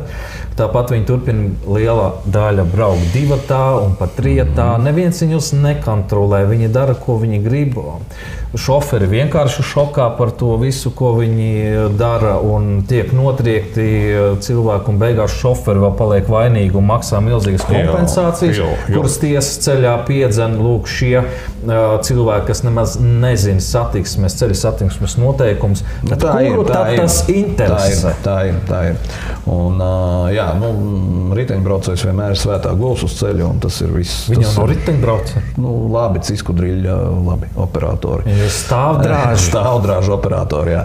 Stāvdrāžu operators, labi, labs, Nu, jā, nu. labs am, amata apraksts varētu būt. Jā, bet, bet tikmēr nav jau tikai šie te nomas vēl ā, skrejriteņi. Ir jau, ir jau, ir jau vēl arī auto. Nomas auto. Un, godīgi sakot, ieraugot Boltu, Citybī vai kādu uz ielas, es uzreiz es tā kā bišķi pieraujos. Jo, Nu, tādēļ, ka pēdējie notikumi sāk notikt pārāk bieži. Konkrēti ar šiem auto, um, koplietošanas automobīļiem, Jā, jā, uh, kuros tiek pie stūres vadītāji bez tiesībām, nepilngadīgi. Nē, arī ar visām Un ar tiesībām, visām bet- tiesībām arī bet- tiek klāt. Jā, man nesen paziņā ieliks sānos viens šitāds meitene no laukiem. Nu, viņi, nu, tiešām, nu, viņi brauc pirmo reizi bez mazliet to mašīnu par Rīgu. Nu, viss. Nu, ko tad mums stāsta eksperti? Jā, jā. Kurš tam mums tur ir eksperts šoreiz? redzēsi, bet es, es tikai gribēju teikt, ka par šiem te šoferiem pārsvarā es, es vienmēr saku, tā ma, ma, ma, ma, mašīnu nopirkties, tā braukt. Nē. Ai. Nu, Tie- bet tā ir. Nu, piedod man, nu, viņi reizēm ir tāda katastrofa uz ceļa, ka viņš mēģina, viņš nostājās, piemēram, ieskriešanās joslā un stāv. Kamēr viņam būs absolūti brīvs uz šoseis. Nu, bet cilvēkiem nav. Nu, tā kā briedis, nu. Cilvēkiem nav pieredzes braukt. Nu, taču Bet, tiesības. nu, bet paklau, ja tev nav pieredzes, es atvainojos. Uh, labi, es neteikšu, ko es gribēju teikt. Parādam video. CZD viedokļa ir problēma ar um, šo mašīnu kāršēringu, latviskā vai dieviņās, kā tas saucas? Kobraukšana. Kobraukšana, redzot, jā, jā, vai īslaicīgo nomu. Jā, jā, īslaicīgo to, ka jaunieši izmanto uh, savu vecāku uh, personas datus, lai mēģinātu nomāt automašīnas. Tā ir problēma. Vai tie ir tikai atsevišķi gadījumi? Uh, Grūti pateikt, cik daudz šādu gadījumu ir, jo fiksēt viņus uh, tā īsti nav iespējams. Bet uh, šeit, protams, ir ļoti liela gan vecāka atbildība, gan arī šo iznomātāju uzņēmumu atbildība, lai šī sistēma būtu izveidota tā, ka to tik vienkārši nevarētu izdarīt. Bet kopumā runājot, patiešām šie kobraukšanas īslaicīgas nomas automobīļi rada, rada problēmas ceļu satiksmē. Daudziem vadītājiem liekas, ka viņi būs kaut kādā veidā neredzami, nesodāmi. Ja? Līdz ar to varbūt arī daudziem no viņiem šis automobīls ir ar savādāku varbūt, konstrukciju, viņš nav pieredzējis pie šī automobīļa. Ja? Un, un negadījumi ir tiešām daudz. Es nevarēšu šobrīd nosaukt skaitļus, ja? bet, bet tiešām daudz. Kaspars neko vispār neteiks vairāk. Nē, Nē, no nu- sliktām dejotājiem jau arī tās kurpes traucējās spiež. Nu, tā tas ir. Atnāk no CSDD, Aksēnoks, bijušais Rīgas domas, kas viņš tur arī politiski sēž tagad savu skaitļu viņam nav. Kā to vispār var zināt? jaunais laiks, jaunā vienotība. Turpinājums. Kā to vispār var zināt? Un, un tā, tā, kā mēs vispār varam pārbaudīt, vai tur tie vecāki vai ne vecāki, un cik vispār viņi braukā tur. Varbūt visi nepilngadīgie braukā, un vecāki viņiem ļauj braukāt. Nu, nopietni. Nu, atkal sabiedrības jautājums vecākam, kurš tad attiecīgi to ļauj. Vai arī bērnam, kurš izmanto vecāku kā jau kādu dokumentu, lai to izdarītu. Bet ir viens lielisks risinājums, un jūs varat painteresēties, kā to var izdarīt šajās koplietošanas automašīnās, lai šādas lietas nenotiktu, vai nu, vismaz no nepilngadīgo puses, vai tie, kam nav tiesības, nevarētu šo izmantot. Proti, tad, kad jūs aiziet uz PMLP, jums liek noskanēt vienu pirkstiņu un otru pirkstiņu. Lai iegūtu pasi, jums jānodod pirkstu nospiedumu. Nu, tā kā elementāri. Nu, ievietojiet šajās automašīnās šādu lasītāju, tas, kuram ir autovadītāja apliecības, viņam arī visticamāk ir pase, vai ne? Nu, jā, Nu, tad, parasti attiecīgi, pieliekot pirkstiņu, viņš var aktivizēt šo mašīnas darbību. Un tad viņa puika ar savu pirkstiņu, kaut izmanto varbūt tās vecāka kaut kādas datus, to nevarēs izdarīt. Mm. Elementāri. Nevar izdarīt, var izdarīt. Jā, jā, jā. jā, jā. Nu, es saku, es personīgi par šīm koplietošanas vispār padarīšanām. Tas pirmkārt man, man ir skeptisks tas viedoklis arī no tā, skatoties, ka nu, tev, tev nepiedarīs nekas, un tu būsi laimīgs. Atceries veco labo stāstu, tas ir tieši par šo tēmu. Kur tagad uz man tā skaties? Tev acī kaut kas. Acī? Jā, man ir tāds acī sa- acis, sarkans nu, iz- iz- izplūdes mazliet. Ā, Nu, varbūt visādi, jā, nu. Nu. Un, un, un, un, un, protams, ka viņi ļoti sāsina situāciju uz uh, ceļiem un, un, un rada avārijas situācijas regulāri. Mans personīgais subjektīvais viedoklis. Jā, bet nu, mums bija liela pakaļdzīšanās. Es tik nesaprotu, kur tie mūsu visi tie robežsargi un vispārējie pie aizkrauklas tik noķēra. Jā.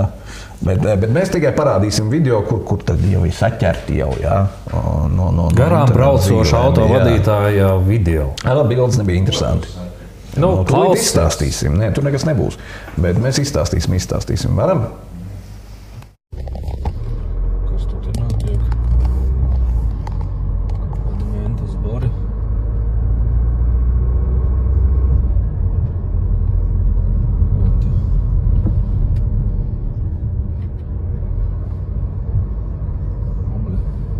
Bēgļus noķēruši defigiši. Nu, jā, vesela rinda čupo salikti.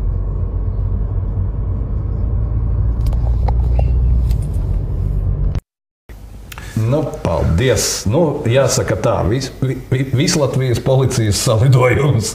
Tā kā pirms nedēļas bija, ka ķēra tos vecākus uh, ciet, ja tur 20 pāri ekipāžu vai 17, neatceros, cik tur bija. Nu, tagad viņi, viņiem laikam iepatikās tusiņš. Un tā viņi tur pa to galu landās. Bet, nu, ja tā nopietni, nu, jā, 40 cik tur cilvēki. tika 46. noķerti. Jā, jā, jā. jā, jā, jā. Tie bija Ā, bēgļi, izstā- nelegālie. Izstāstīšu īsi Silvestram. Es, es izstāstīšu Silvestram. Nu, labi, izstāstīšu Silvestram, izstāstīšu pārējiem. Labi, Silvestram nu, ja Silvestram, tad, reku. tad lasies, tad nestāstīšu. Ko tu man stāstīji, tad var nolasīt. Spēcoperācijā aizturēt 46 robežu pārkāpēji. Policija meklē vēl vienu pā- pārvadātāju. Beigās atrada viņu arī Aha. pēc sešām stundām. Jā. Nē, viņš 6 km. 6 km. Jā, jā, jā pats pēc aizmukt. Jā. Nu, jā, nu, īsāk sakot, valsts policija ar sa sadarbībā ar robežsardzi otrdienas rītā spraigā operācijā izsludinot speciālo plānu slazdi. Te taču nosaukumu izdomā? Nu, te, tu, protams, aizturēs vairākus desmitus migrantu, kuri nelegāli šķērsoja robežu, un viņu pārvadātājus, kuri noziedzīgajām darbībām izmantojuši transporta līdzekli ar pakaļdarinātu policijas identitātes krāsojumu. Policisti aizturēšanā izmantoja arī šaujam ieroci. Te bija kaut kur tā bilde, kur bija tas mm, policijas, pakaļdarinātais policijas busiņš. Ka Viņš laikam arī ir Volkswagen. Nu, tas aizmugurē, tas Jā, jā, lielākais. Volkswagen, lielākais šis, šis, šis, šis. Tā tad ne tikai krāsojums, bet arī logo virsū un um, gaismas signāli un arī numuru zīme, Bija nofederēta no cita. Jā. Jā, jā, Ir reāli policijas Jā, jā. mašīnā pastāvoši. Jā. Un kas vēl interesanti, tad viņi mēģina iestāstīt, ka šajā Volkswagenā ietilpst 46 Bēgļi. ā, cilvēki. Nu, maigi sakot, ā, ne jebkurā ko. autobusā var. Kaut gan viņi var Nē, nē, viņus, uz otru. viņus tur vienu, vienu uz otru, un kā jau stampa piemīts. Nezinu, nezinu, nezinu. Nē, nē, var, var. Šis ir lielais busiņš. Šis ir lielais.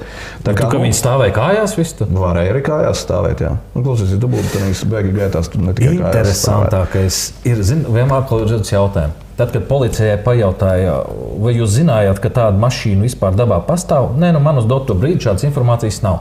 Uz vai tādas, uz šo brīdi. Jā. Vai tādas mašīnas vai varētu būt vēl? Jā, neizslēdzam, ka tādas mašīnas joprojām vēl braukā un kaut kur kaut ko pārvadā. Fantastiski! Nozog policijas mašīnu. Nu, tā Nē, var nu, teikt. nu, Nu, nu, tā nu, var teikt. jā, nu, Nu, kā var jā. uztaisīt? Nu, kaut kur viņi dabūja tās uzlīmes. Nu, kaut kur viņi dabūja tos gaismas signālus. Nu, numuru zīmi viņš kaut kur dabūja. Kāds ar to numuru zīmi uztaisīja? Busu dabūja. Vēl jautājums, cik viņam ir paspējuši pārvadāt un cik joprojām iespējams pārvadāt. Nu, Un kā mēs tagad vispār varam uzticēties? Atkal, tas ir šausmīgi. Zini, es- Policijai vai tur iekšā sēž policisti? Vai tie nav policisti tagad? Nu, kā cilvēks elementāri var Es, var es tagad teikšu ļoti vienkārši. Silvestra mūžīgās aizdomas, ja, ka jāatdod mazos putniņus, ja, tad kaut kur ir krietni lielāki. Lūk, un Jā. atkal rodas jautājums, tā taču ir Baltkrievijas robeža. Mēs taču nu dzirdējām, ka izbūves Baltkrievijas Latvijas robeža ir pabeigta. Kā viņi tur tiek cauri? Ko tie robežsargi tur dara? Kāpēc viņi tur?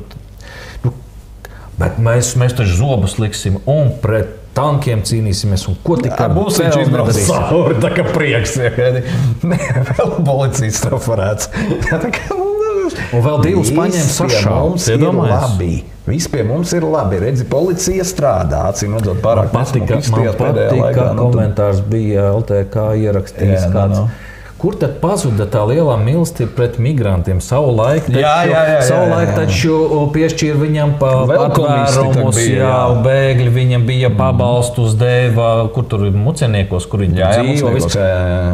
Samainījās kaut kas. Nu, samainījās, Nu, tāpēc, ka tie ir nepareizie bēgļi. Par viņiem nemaksā naudu, viņiem nav Pareizie koda nāk- virsū. Pareizie nāk no Eiropas, nepareizie nāk no Baltkrievijas un Krievijas. Nu, ko tu nesaproti? Nu, jā, nu, jā. Jā.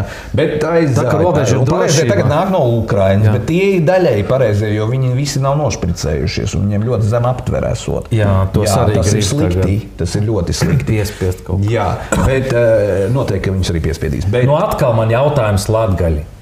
Nu, kā viņi mums garantē, ka līdz Rīgai nu, tas ir gandrīz? Nu, Jā. nu, ko jūs tur darat? Bet Nu, tikmēr pie alūksnes redzējies, abi vesels ļembasts. o, Mēs varam, varam paskatīties video. Kaut kā baigi aktīvi policija sākus strādāt. Kaut kas nav labi.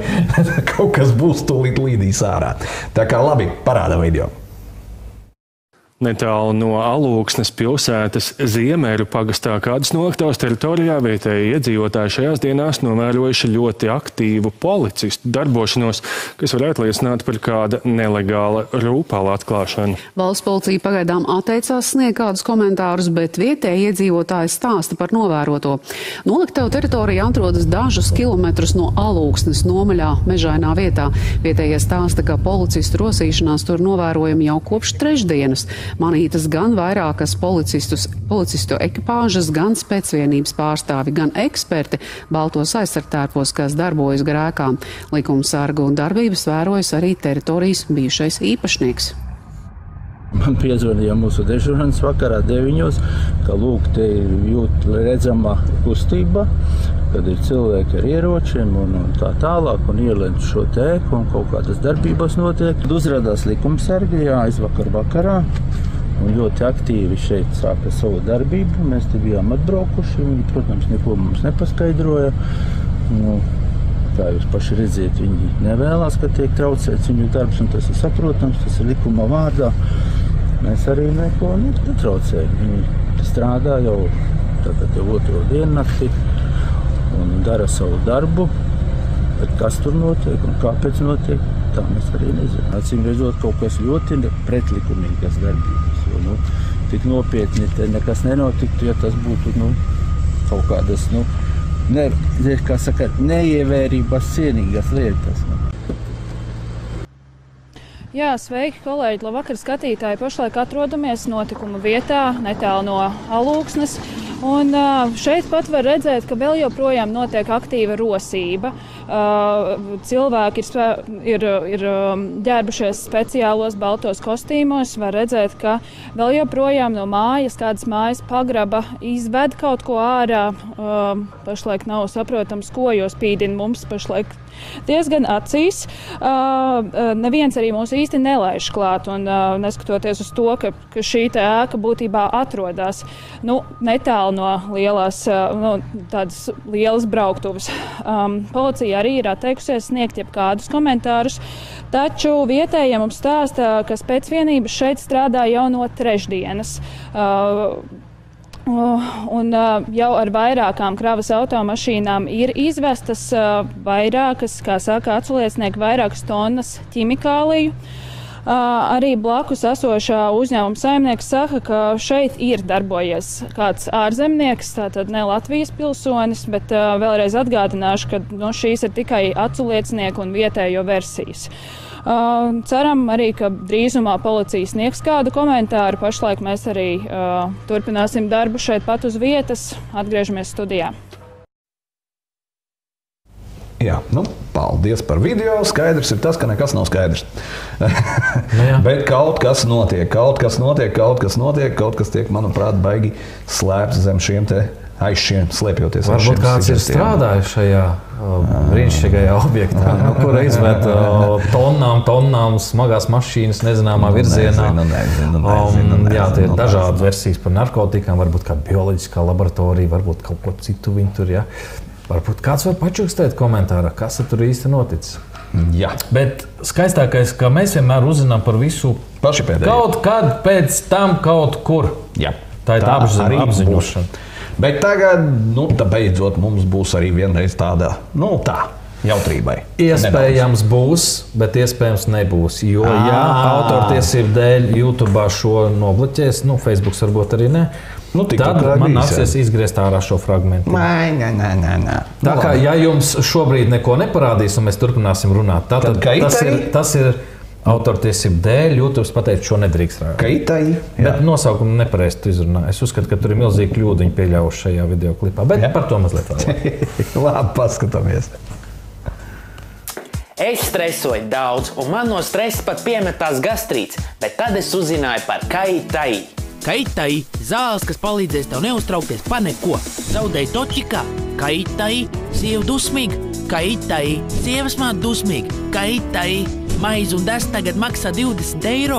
Kaitai, dodies savā rīta peldē, tad ieraugs līkstamu suni izglābt to, jūs instant viens otrā iemīlaties, sākat dzīvot kopā pēc gada svinat viņa dzimšanas dienu medu gaisā, bet tad viņa paķer vanaks.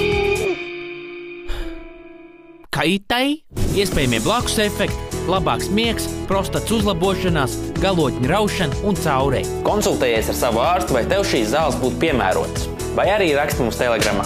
Sīkāka informācija mājaslapā KITAI, bet ja nav KITAI, tā kā i.lv.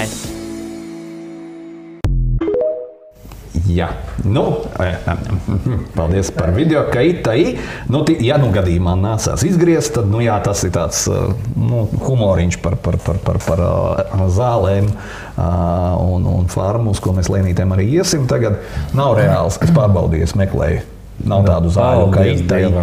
Jā, nu, tā, tā nu ir. Jā. Bet, nu, es ceru, ka parādīja uh, YouTube. Kā, mm, nu, nu, ceri, ceri. Ceru, ceru. ceri, jā, ceri. Jā, jā. Bet tagad nedaudz, nedaudz uz ārzemēm tomēr, jo es vienkārši šo virsrakstu ieraugot, es jau uzreiz nu, es kaut kur šito esmu redzējis jau. Kaut kur pirms trim gadiem, kaut kur apmēram. Jā. Uh, parādām virsrakstu. Izraela šobrīd cīnās par Eiropu. Kas, kas tā ir Eiropa? Vispār mīkstie ir vai kas, kas tas ir? Pirms, pirms diviem, trim gadiem visu šo laiku Ukraiņa cīnījusies par Eiropu. Jā. Tagad jau Izraela cīnās Jā. par Eiropu. Kas, kas te par ko cīnīties ir tik ļoti? Nu, it, kā, it, kā, it kā šķiet, ka Eiropa atbalsta visus tos, kas par viņiem cīnās. Paši cīnīties neko negrib. Jā, jā, jā, vai nav iespējas, vai nav spējas, vai, vai kas ir. Bet interesanti, ka šajā rakstā um, tā ir. Um, Izraels vēstniece. Izraels vēstniece Latvijā Jā. sniedz šo interviju, bet uh, man šķita nekorekti tas, ka šī intervija ir publicēta tagad. Kurš datums tur ir mums? Datums mums ir. Uh, datums mums ir īsi. Tā nav te datuma. Šodien 5.55. te ir tikai rakstīts. Te nav datuma. Augstāk, ja es redzēju viņu kaut kur. Jā. Ah, 9. oktobris. Jā. jā, 9. oktobris. Uh, intervija ierakstīta ir līdz tam, kad uh, Irāna uzbruks ar raķetēm Izrēlai, un līdz tam, kad Latvijā notiks mm -hmm. attiecīgi protests vai atbalsts palest, Palestīnas. Um, nu, Palestīnai, ja? Mm -hmm. Nu, arī nekorekti. Nu, ka ir nekorekti, jā. mm, ģeopolitiskā situācija ir strauji samainījusies. Mhm. Un, un, un, um, Nu. nu. Viņi ieliek kaut kādu tur vecu interviju. Kaut kā, nu, Jā. Bet tikmēr, nu, jā, mums te ir daudz, man atsūtīja šo grafiku. Tas ir laikam visuzskatāmākais, ā, ko es jebkad esmu redzējis, ja, ā, par ā, populāciju Latvijā. Pagadiem. Oi, ar vājiem nerviem neskatīties, rādīsim Mhm. stikla kalnu. Stikla kalns tieši tā, tieši to viņš arī atgādina. Starp citu, no, jā. Jā, Loģiski. mūsu Nacionālo bibliotēku jā, parādam, parādam bildīt. Jā. Nu, redz, sākot no 50. gada, kad bija var, nu, kaut kas virs 1,9 miljoni, nu, tad aizgāja gaisā līdz ā, 90. devi- 80. 90. gadi, principā 90. sākums pat līdz 2,6 pārsniedz pat 2,6 miljonus, 2,7 gandrīz. Un tad, kad no kalna lejā, nu tā kapitāli nobraucām, jā, līdz 1,8. Un tā ir tikai oficiālā statistika. Jā. Uzsversim, ka 1,8 nav Latvijā reāli dzīvojušo iedzīvotāju skaits. Mums tā lāča čūks, es nezinu, kur viņi to Mhm. informāciju izraujuši. Viņi skaita viņi ir deklarēti vai, vai pases izsniegtas, bet reāli liela daļa no viņiem atrodas jau ārpus. Līdz ar to vairs nav 1,8, ir daudz, daudz, daudz, daudz. Un, daudz, un, un te nu ir tas Latvijas veiksmes stāsts šo pēdējo 30 gadu laikā, no 90. gada, kā sākām ripot no kalna lejā, nu tad bez apstāšanās. Un šis ir veiksmīgs vienotības un citu valdošajā koalīcijā esošo ilgstošo partiju rūpju rezultāts par Latviju. Tas ir tas straujais ekonomikas izrāviens, tas ir tas ā, gāzi grīdā, tas ir ā, visu tautai, Latvija pirmajā vietā. Jā, tas ir tas, ir, tas ir, nu, tas ir tas, jā. Tas ir Nacionāla apvienība un demogrāfija, kultūra. Tas viss ir, nu, kā saka, viss tautas, Jā, tautas jā, vārdā. Un laikā Paldies! mums- Kā tev jāsaka tagad atkal un tiešām? Paldies partijai un, un, un jā. valdībai. Uh, bet, nu, jā, un tikmēr šī pati partija un valdība mums cītīgi stāsta par sapņu zemi, piemēram, Ameriku, jā, Jā, kur viss ir tik lieliski tu- un tik labi un, uh, un tā tālāk, un parādām virsrakstu. Vairāk nekā pusmiljons cilvēku ASV dzīvo uz ielās. Ai, ai, ai. Kā tā nu tā? Kā tā nu tā? ASV šogad visticamāk tiks uzstādīts jauns bezpajumtnieku skaita rekords, jo uzskatīts, ka va- lielvalstī uz ielas dzīvo vairāk nekā pusmiljons cilvēku. Wall Street Journal apkopotajos datos vairāk nekā 250 tūkstoši, 250 bezpajumtnieku organizācijām līdz šim uzskaitīts vairāk nekā 550 miljoni bezpajumtnieku, kas ir Ne, par de- 550 tūkstoši. jā, kas ir par 10% vairāk nekā pagājušā gada ziņojumos. Nu, redz, tā, tur arī viss iet uz augšu. Augušo tendenci nozīmē, ka ASV iespējams sasniegs un pārsniegs 2023. gada aplēses par 653 tūkstošiem bezpajumtnieku. Tas ir lielākais skaitlis, kopš valdība sāka kopīgot šādus datus 2007. gadā. Un jāsaka, ka šis ir tikai maziņš redzamais aizbarga daļa, mm -hmm. proti varat iedomāties, cik miljoni dzīvo nu, ne uz ielas, bet varbūt kādā tur mm -hmm. būdiņā, plasmas meža vidū, kartona kastītē, kas varbūt tiek uzskatīts par māju vietu. Un, um, Tas ir arī viens no veiksmes stāstiem, un, uh, kuru kultūru Latvijā, latviešu bērniem veiksmīgi cenšas nu, filtrēt un stāstīt. Nu, redziet, mm -hmm. kā tas viss tur forši ir. Mm -hmm. Bet par tādām lietām jau nav pieņemts runāt, jo tā arī dezinformācija, tā nav taisnība. Un Inga noteikti nočekos un teiks, nav 550 tūkstoši, ir 549,999. Jā, jā, jā, jā. Un komats viens. Un komats viens. Jā. jā. Bet tikmēr. Tikmēr, nu, tikmēr tikmēr. mēs esam atkal pie tās pašas tēmas. Veselība. Nu, Veselība, veselība, veselība. veselība jā. nu, lūk, un, un reku, nu, tagad uh, masē visi, visi, kas var un kas nevar, visi gludekļi un stāsta, cik slikti ir uh, nevakcinēties. No Reku kurienes viens- tas vārds gludeklis? Es nezinu, kaut kā tas aizgāja kaut kur internetā, ka visi gludekļi. Un, Es tā no tevis tikai esmu dzirdējis par gludekli. Nē, jā, vēl ir. Vēl. Tā Silvestrs izstāstīs. Labi. Jā, labi. labi. Nu, bet mēs varam paskatīties kārtējo ģimenes ārstu, kura nu, ir tik, nu, tik, jā, nu, Tikusi, tikusi tikusi radio. jā, Radio tikusi. jā, ģimenes studijā. Jā. Skatāmies video. Trausli, un tāpēc viņus nevajag vakcinēt. Nē, nē, tieši otrādi, tieši tāpēc viņus vajag vakcinēt, jo viņi ir tik trausli. Tā ir viena lieta. Otra lieta, protams, šie kliedzošie gadījumi ar nevakcinēšanos. Man bija tētis no, no reģiona, kuram bija trīs meitas, kuras visas ārstējās pie manis, un viņa māma bija 42 gados mirusi no zemes kakla vēža. Un tad, kad šīm meitenēm pienāca vecums vakcinēties pret cilvēku papillomas vīrusu, Viņu teica, teica, nē, es negribu vakcinēt. Un, un tad man reti aptrūkstās vārdu, bet es teicu, ziniet, man, man nav ko jums teikt. Man tiešām nav ko jums teikt. Viņš viens viņu audzina. Un... Mm, paldies par, par, par, par, par video. Un, nu, te, nu, nu, tas, ir, nu, tas tagad iet pa visurieni. Tagad viss ir, viss ir, viss ir slikti un tā tālāk. Un tā, Viņai nav ko teikt. Viņai nav ko teikt. Tad nebūtu teikusi labāk neko. Būt. Un, starp citu, man ir interesanti. Viņa teica, ka tie, tās meitas pie viņas ārstējās. Nu, kā tur bija? Viņas nomira no tā vēža vai nenomira? To viņa nezina, kāpēc nepateica. Es dzirdēju, ka tētis viņas turpina. Jā, tas ir kārtībā. Nu, tad, nu, kādēļ ir tāds stress un panika? Bet bērns slimnīca turpina, turpina kaut ko stāstīt, lai tikai novērstu uzmanību no kaut kā cita iespējams manas domas. Nu, protams, jā, bet. Atkal tu šitos tematus, tu taču zini, ka man viņi ir ļoti. A, piedod, bet tu pats arī šo biji ielicis. Tā kā tad nepiesienies man, jā? Parādu virsrakstu. Bērnu slimnīcas paliatīvā aprūpe nepieciešama arvien vairāk bērnu. Un no kā tad tas tā ir? Pasaulē, tostarp arī Latvijā, katru gadu palielinās bērnu skaits, kuriem nepieciešama pediatriska pali paliatīvā aprūpe. Informē BKUS, paliatīvās aprūpes dienas vadītāja vietniece, aprūpes jautājumos Sofija Tomase. Kas ir paliatīvā aprūpe? Kas par? Nes. Nu, tas ir viss. Tas ir viss tie bērniņi, kuri Un kāpēc mums palielinās katru gadu vajadzību? Tādēļ, tā? tādēļ, ka mums ir vislabākās um, mm -hmm. Mm -hmm. tās. Mm -hmm. Un tādēļ, ka visi ir pasargāti no visa un no visiem. Jā. Un, jā, jā. Uh, ņemot vērā arī demogrāfijas rādītājus, proti, tur cipars bija. Nu, nu, tad, kad tos ciparus saliek un pareiķina, tur ir šokējoši. Uz, uz, tūkstotis iedzīvotājiem Latvijā piedzimst četri bērni.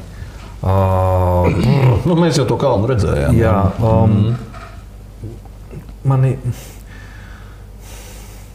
tur rakstā tālāk arī ir uh, uh, minēts par. Uh,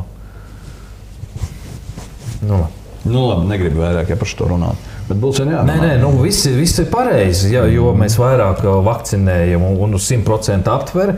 Nu, un, un, nu, tad un pretēji mums un par, pa, parādās, bet pretēji parādās šādu bērniņu skaits. Mm. Bet šie jau nav tikai tie bērni, kas ir ap paliatīvo aprūpi kur paliek uz statistika bērniņiem ar pēkšņām alerģijām, pēkšņām epilepsijām, ar pēkšņiem autismiem, ar pēkšņiem bērnu triekām, ar pēkšņiem, mm, uh, visādiem citādiem sindromiem, kas ir mm. drausmīgi un ar ko ģimenei tālāk būs jādzīvo. Bet, protams, tam nav nekāda sakara. Nē. Nu, nekāda nav, sakara ar to. Nav, nav, nav, nav, nav. Nekāda. Nav, nav. Jā, jā. Bet tikmēr nu, nekas jau nestāv uz vietas, kā saka, jau tiek drukāti sarakstī. Šoreiz ne ar cilvēkiem, un, kā pa brīnumu. Tā ir paliatīvai aprūpē, naudiņas nav valstī. Nu jā, apriškam. Saprotiet, ir jāvāc vecākiem ziedojumi, jā, jā, jā, viss tas jādara. Jā, jā, jā. Nauda ir tikai vakcīna. Tā ir. Tā par kuru neuzņemās atbildību? Ne ārsts, jā, protams, ne slimnīca, tas ir, kāpēc man ne valdība ne zāļu ražotājs. Jūs paši esat vainīgi. Mm -hmm. Abos mm -hmm. variantos esat vainīgi. Jā, protams. Bet jūs uzticieties zinātnē. Mm -hmm. Mm -hmm. Kādēļ Covid, kādēļ COVID laikā kaudze? lika parakstīties? Kādēļ lika parakstīties? Liek. Tev lika parakstīties, ka tu esi informēts par kaut ko, ko tu nezini. Tu parakstījies. Tas paraksts bija nepieciešams, lai tu nevarētu vērsties pret šo brīnumu līdzekļu ražotāju, lai tu nevarētu iesūdzēt tiesā valsti. Tu pats parakstīji. Nu, reku, Tāds bija mērķis. Reku, kādēļ, mums, kādēļ mums šobrīd stāsta, atvaino, kāda šobrīd stāsta un redziet, nu, tur ir daži gadījumi, daudz jau viņu nav. Protams, ka nav, tādēļ, ka viņi nevar juridiski neko pierādīt, viņi paši parakstīja. Nevar, tāds jau bija nevar. mērķis. Un uh, zāļu valsts aģentūra met tik futbolē nost. Viss, nu, ja tu tur galīgi esi nomiris, nu, tad labi, nu, tad varbūt iedos to kompensāciju. Ja? Bet arī tas vēl jāpierāda. Tikmēr mums ir šitādi te, godīgi sakot, nu, mm, tas kā viņš ir aktivizējies pēdējā laikā. Nu, Gan jau parādīsies uz vēlēšanām. Nē, es domāju, ka tas pat nav tas vienkārši. Viņš atstrādā savu naudu. Ir. Es nezinu, es šos cilvēkus, es, es, es viņus par cilvēkiem pat nesauktu. Jā. Es ir parādījis. Tu taču atceries tās skaistās piemaksas mums iepriekšējā raidījumā. Jā, jā, jā, neparādījām. Jā, jā. neparādījām jā, Bet, nu, labi, cilvēki taču zina, ka piemaksāja māsiņām, ārstiem, vakcinācijas kabināt. Kabinatoriem, jā. Vai, Dievs, kur tikai nevakcinēja? Autobusos vakcinēja. Pie mājām brauc klāt. Ai, šito ainis te. dzels. Jā, brīnumu. Tas, kuram ģimenes praksē ir 100% vakcinācijas aptver. Mm -hmm. Labi. Vairāk cilvēku var vecā, WhatsApp lietotnē par vakcinācijas obligātumu un to, vai valstī būtu jānosaka atsevišķas vakcīnas kā viennozīmīgi obligātas, no kurām nevar nekādā veidā izbēgt ar kaut kādu nu, zinātnē ne, ne, nepamatot viedokli. Šis tātad ir drīzāk politisks jautājums. No medicīniskā viedokļa, jā, mēs visi esam ieguvēji. Ik viens cilvēks, kuram nav absolūtas kontraindikācijas vakcinēties, būs ieguvējs pats un ieguvējs būs sabiedrība kopumā. Visās demokrātiskās valstīs Kaut, ne, kaut atsevišķos gadījumos pastāv izvēles iespējas. Tas var būt uh, reliģiskie uzskati, tas var būt citas, varbūt kādas lietas. Bet šeit mums, domāju, atkal caur tādu veselo saprātu, caur zināšanām, mums tomēr jāvienojas, ka tas ir mūsu pašu un sabiedrības labā. Bet iespējams pie atsevišķām slimībām nu, tas varētu būt risinājums, bet es neteiktu, ka es to personīgi atbalstītu. Es drīzāk atbalstītu investīcijas izglītībā un izpratnes veidošanā. Pa, pa, pa, pa, paldies. Vispār godīgi negribas par šito pat neko teikt. À, ko mēs par viņu varam teikt? Nu, neko labu, jā. Nu, ko mēs varam neko labu labu. Bet ka šitā var notirgoties, pārdoties, tas ir vienkārši wow. Jāsaka, jau kā ir. Jā, tu gribēji tabuliņas, reku, nu viņas ir. Nu, jāatgādina cilvēkiem, un doktoriem jāatgādina. Jā, jā, nu, ne, ne šitā dēļ tas darbs te tā izpildās. Jā. Nezinu, varbūt, Nē, varbūt, jā, no 1. varbūt, jā. janvāra līdz 1. Latvijas cīnījās ar pandēmijas otro vilni. Piemaksas lielums mēnesī noteikti 100% no vidējā aprēķinātā atalgojuma. Ģimenes ārstiem 2301 eiro, ģimenes ārstu māsām un palīgiem 1380 eiro. Vēl arī pie ģimenes ārstiem strādājošiem rezidentiem 1766 eiro. A? Tas ir laika Au. periods, kad bija Paldies. šis slavenais. Es tur nākšu, nākamo bildīti arī atvēršu vaļā. Jā. Kad bija slavenais puņķis, lūk, šādi pielikumi pie algas. Nu, kādēļ viņi kaut ko runātu un baigi stāstītu? Top 5 reģionos. Jā.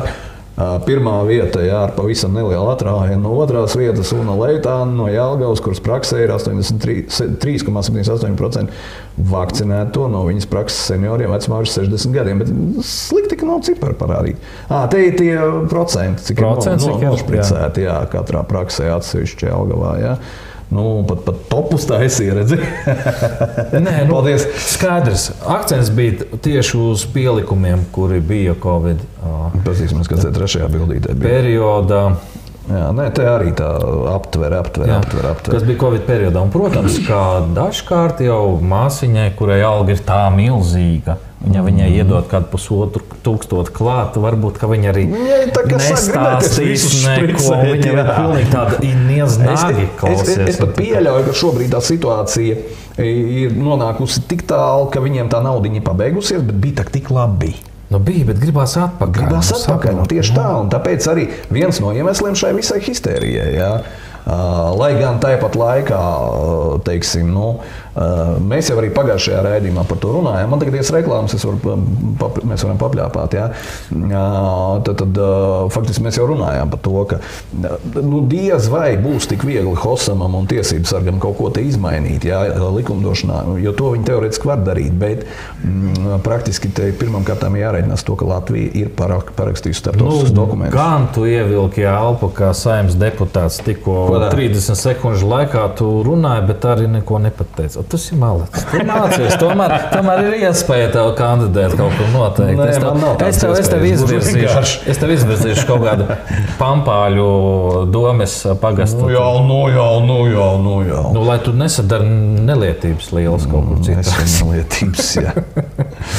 jā, bet, bet tikmēr arī, arī ko saka pašas bāriņas. Zīmīgi, ka šis te video parādījās tajā rītā. Uh, kad mēs braucām te uz Madonu. Jā, īsi pirms, Īsi īsi pirms Madonas Bāriņties sēdes, jā. kurā lēma par aizgādības tiesību atjaunošanu Vecākiem. vecākiem. Jā. Tā kā, nu, ko aiziet, skatāmies video, un tad pēc tam komentēsim.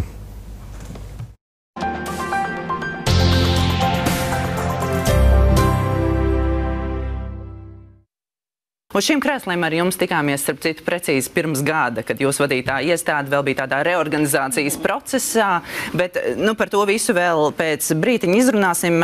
Šobrīd skaļākais bērnu aizsardzības eh, jautājums, ja tā var teikt, eh, sabiedriskajā telpā ir saistīts ar vakcināciju tieši difterijas uzliesmojumu dēļ, un tas eh, liek runāt par šo te vecāku izvēli nevakcinēt bērnus. No vienas puses viņiem ir šādas tiesības, bet kā ir ar bērnu interesēm tikt vakcinētiem? Kāds ir jūsu viedoklis tieši no bērnu aizsardzības viedokļa? Mm -hmm. nu, jā, jāatzīst, ka valsts ir arī noteikusi un medicīnā ir atzīts, kuras ir tās vakcinācijas, kurām ir jābūt. Nu, skaidrs, ka tas ir likts un domāts izvērtējot bērnu intereses. Protams, tas, kas šobrīd ir noticis, ka vecāka nu, tātad, gan pienākums, gan tiesības viņas nu, drusku var atšķirties, bet, protams, no bērna labbūtības viedokļa ir svarīgi, lai viņš tiktu pasargāts, viņa veselība un dzīvība tiktu pasargāta. Nu, tādēļ nu, noteikti, ka domājot par to, kas viņa veselībā ir nepieciešams, tās vakcinācijas pocis būtu jānodrošina. Bet, protams, ka vecāki uh, uh, ir arī dažādi domājoši un arī tiek uzskatīts, ka uh, dažas vakcīnas var radīt kādas blaknes, un droši vien tāpēc arī vecāki izvēlas nevakcinēt. Uh, bet domājot par to, šķiet, ka būtu svarīgi saprast, kas tad ir tās bažas vai bailes. Un tad mēs arī esam daudz diskutējuši par to, kā tad runāt ar vecākiem, ko teikt. Jo, protams, kad vecāks grib savam bērnam vislabāko un ne jau tīši ļaunprātīgi nevakcinē, bet vienkārši bažījoties par viņu veselību vai kaut kādām nākotnes iespējām to nedara. Un bez šaubām šeit ļoti liela loma ģimenes ārstiem, lai viņi paši nebūtu vakcīnu skeptiski un labi informēti, un viņi spētu pārliecināt šādus vecākus, kurš šaubās. Bet daudz jau ir spriests, ka ir 14 infekcijas slimības, pret kurām vakcīnas eh, tiek sauktas par obligātām, bet pēc būtības tās tādas nav, jo, kā jau minējām, vecākiem ir tiesības atteikties no tām. Bet interesanta ne- nianses ir, ka tiesības sarga birojas skaidro ārstiem savukārt ir vēl kāds ierocis viņu rokās. Viņi var vērsties bāriņtiesās, lai tās iesaistās bērnu vakcinācijā, kas netiekot šobrīd izmantots. Eh, Kāds ir jūsu viedoklis, jo tas netieši arī sanāk jūsu lauciņš bāriņtiesas jūsu pāraudzībā? Nu, jā, nu, skatoties arī no mūsu pozīcijām un arī uz to, mēs, kas ir bāriņtiesu darbs, nu, jāatzīst, viss nav tik ļoti vienkārši, jo nepietiek vienkārši ar faktu, ka bērns nav vakcinēts, un tad informē bāriņtiesu, un bāriņtiesa lemj. Jo ā, bāriņtiesa var lemt gadījumos, kad bērna veselība vai dzīvība tiek apdraudēta, jo arī bāriņtiesu darbinieki nav speciālisti medicīnā. Ja būtu situācija, kurā nu, mēs, mēs daudz par šo prātojām, ja būtu situācija, kurā ārstniecības iestāde vai ģimenes ārsts var pateikt, kas ir par riskiem, var pateikt, ka bērnu veselība, dzīvība sāk tiek sākta apdraudēta, tad noteikti varētu arī vērsties bāriņtiesā. Bet vienkārši es gribētu arī izslēgt, lai neveidojas situācija, kurā ģimenes ārsts vai ārstniecības iestāde vienkārši iziet cauri sarakstam, paskatoties, kuri bērni nav vakcinēti un sūta informāciju bāriņtiesai. Jo bāriņtiesa šo informāciju nevarēs izlemt pēc būtības. Jo pats nevakcinēšanas fakts neapdraud bērnu dzīvību un veselību. Noteikti var iespējamās sekas to darīt, bet tad ir jābūt, nu, nezinu, vai kādam lēmumam no, no, no ārstniecības iestādes, pamatotai informācijai, ka bērna veselība, dzīvība uh, var tikt apdraudēta, un tad bāriņtiesa var pieņemt šo lēmumu, protams, arī vecāku vietā. Tad ārstiem apdomīgi jūs aicināt izmantot šo iespēju. Jā, jo redziet, nu šobrīd tad sanāktu tā, ka ārstniecības puse nu, teikt, lūk, nevakcinē, dariet kaut ko ar to, bet bāriņties arī ar to neko nevar iesākt. Un vēl kas ir nianse, uh, ja arī bāriņties pieņem šo lēmumu, šis lēmums stājas spēkā un ir izpildāms nekavējoties. Bet tā kā tas ir administratīvs akts, vecāks to var pārsūdzēt tiesā. Nu, līdz ar to var, no, var būt situācija, kurā lēmums ir pieņemts, bērns tiek vakcinēts, tad vecāks pārsūdzas tiesā, un ko darīt tad, ja tiesa atceļ šo bāriņu tiesas lēmumu. Nu, tā kā arī šeit ir tāds ļoti juridisks nianses. Šobrīd mēs arī gan ar veselības ministriju, gan arī nu, savstarpēju labklājības ministriju nu, diskutējam par šo, kas ir tas labākais risinājums. Protams, es teiktu, ka preventīvie pasākumi vienmēr strādā labāk nekā tikai sots, bet nu, tā automātiski bāriņtiesām sūtīt informāciju šobrīd arī nebūtu pilnīgi nekādas jēgas, jo viņas ar to neko nevar iesākt. Paldies par video. Tur tālāk aizgāja beigās ūdens, vēl tur, tur par visu ko. Bet es uzreiz gribētu vērst uh, mūsu skatītāju, ja ne mediju. Lai gan mediji arī mm, skatās, acīm redzot, zvirbulis mūsu skatās, jo viņš uh, pateica tomēr, ka puisītim bija 5 gadi, nevis, nevis ziņots visos atkal jau gludekļos pirms tam. Jā. Es gribētu piebilst vēl vienu lietu. Šeit žurnālisti ļoti pārliecinoši paziņoja, ka pēc difterijas uzliesmojuma un tā tālāk un tā joprojām, vēl joprojām neviens no jums, mīļie žurnālisti, nav atzinis to, ka, piemēram, meitenēm, kuras šobrīd vēl joprojām atrodas Kliniskajā universitātes slimnīcā, neviens tests uz difteriju nav bijis pozitīvs. Neviens. Tad par kādu difteriju mēs vēl, vēlamies par ārstu vispār varam runāt? Un ko piedošanu mūsu žurnālisti? Perošikavā atbildēja ir. Ir. Tā? ir Parādīsim ir. to un tad. Jā, ir. ir. Mazliet. Jā. Paturpināsim. Uh, SPKC epidemioloģiskajā izmeklēšanā nav noskaidrojis, noskaidrojis difterijas infekcijas avotu. Tālāk. Slimību profilaks kontro, uh, kontrolas centram, SPKC, un te jālasa uzmanīgi. Epidemioloģiskajā izmeklēšanā apzinot 45 personas nav izdevies noskaidrot nesen konstatētā difterijas uzliesmojuma infekcijas avotu, liecina Veselības ministrijā, ministrijas sagatavotā paskaidrojuma vēstule Saimas prezidijam. Un šeit ir jālasa vēlreiz, manuprāt, jā, ne, ne ar vienu vārdu Šī SPKC atbildē nav minēts, ka puisim, puisītim vai meitenēm attiecīgi būtu difterija. Vispār nav minēts neviens, neviens slimais ar difteriju. Bet ir minēts, ka visiem 45, kuri ir uh, apzināti un pārbaudīti, tostarp varētu būt arī šiem bērniem, nav konstatēta difterija. Un atkal viņi neko nemelo. Difterijas baktērija. Nu, vienalga. Jā, vienalga. Jo mēdīņi cītīgi kladzina par to, ka ir difterija, difterija, difterija. Kur tad ir tie testi? Viņu nav. Tad pēc kā viņi to nosaka? Pēc vajadzības. Tāpat kā puikam bija 4 gadi, nevis 5 gadi, kā bija patiesībā. Ah. Un mūsu mēdīja ir piedošana kretīna bars, nu vienkārši meļi. Jā. Būsim objektīvi meļi. Un, um, esiet kritiski, vērtējiet informāciju, analizējiet, esiet uzmanīgi. Un tagad būs neliels pazīmo, paziņojums no uh, manas puses. Um, skatītāji rakstīja, kas notiek tālāk ar šo ģimeni, kas notiek ar meitenītēm uh, Bērnu Kliniskā universitātes slimnīcā, kāda ir situācija. Un uz, uh,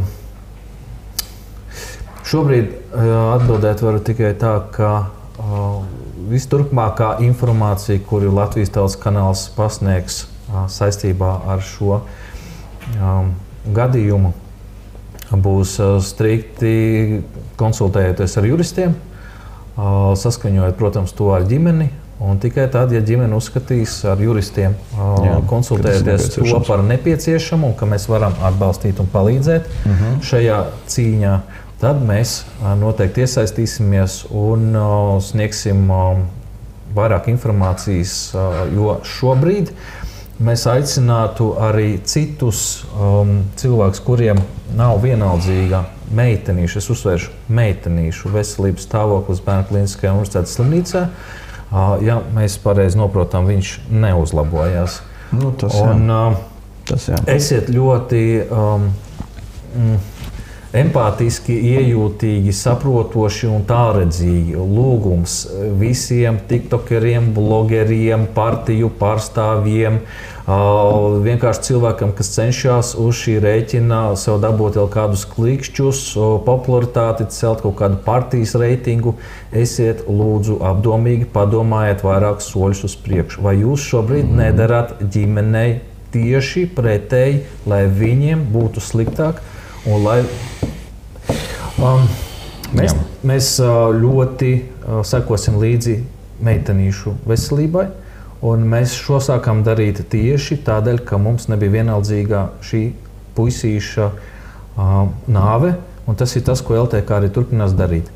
Tādēļ es ļoti, ļoti uzsveru, esiet uh, tie, kas cenšas uz šī visa rēķina kaut kā nu, ģimenei nezinu, palīdzēt, vai viņi uzskata, ka bļaujot un kaut kādā veidā ejot uz konfrontāciju un uz tādu kašķi vai kautiņu ar, ar, ar sistēmu, šobrīd jūs palīdzat.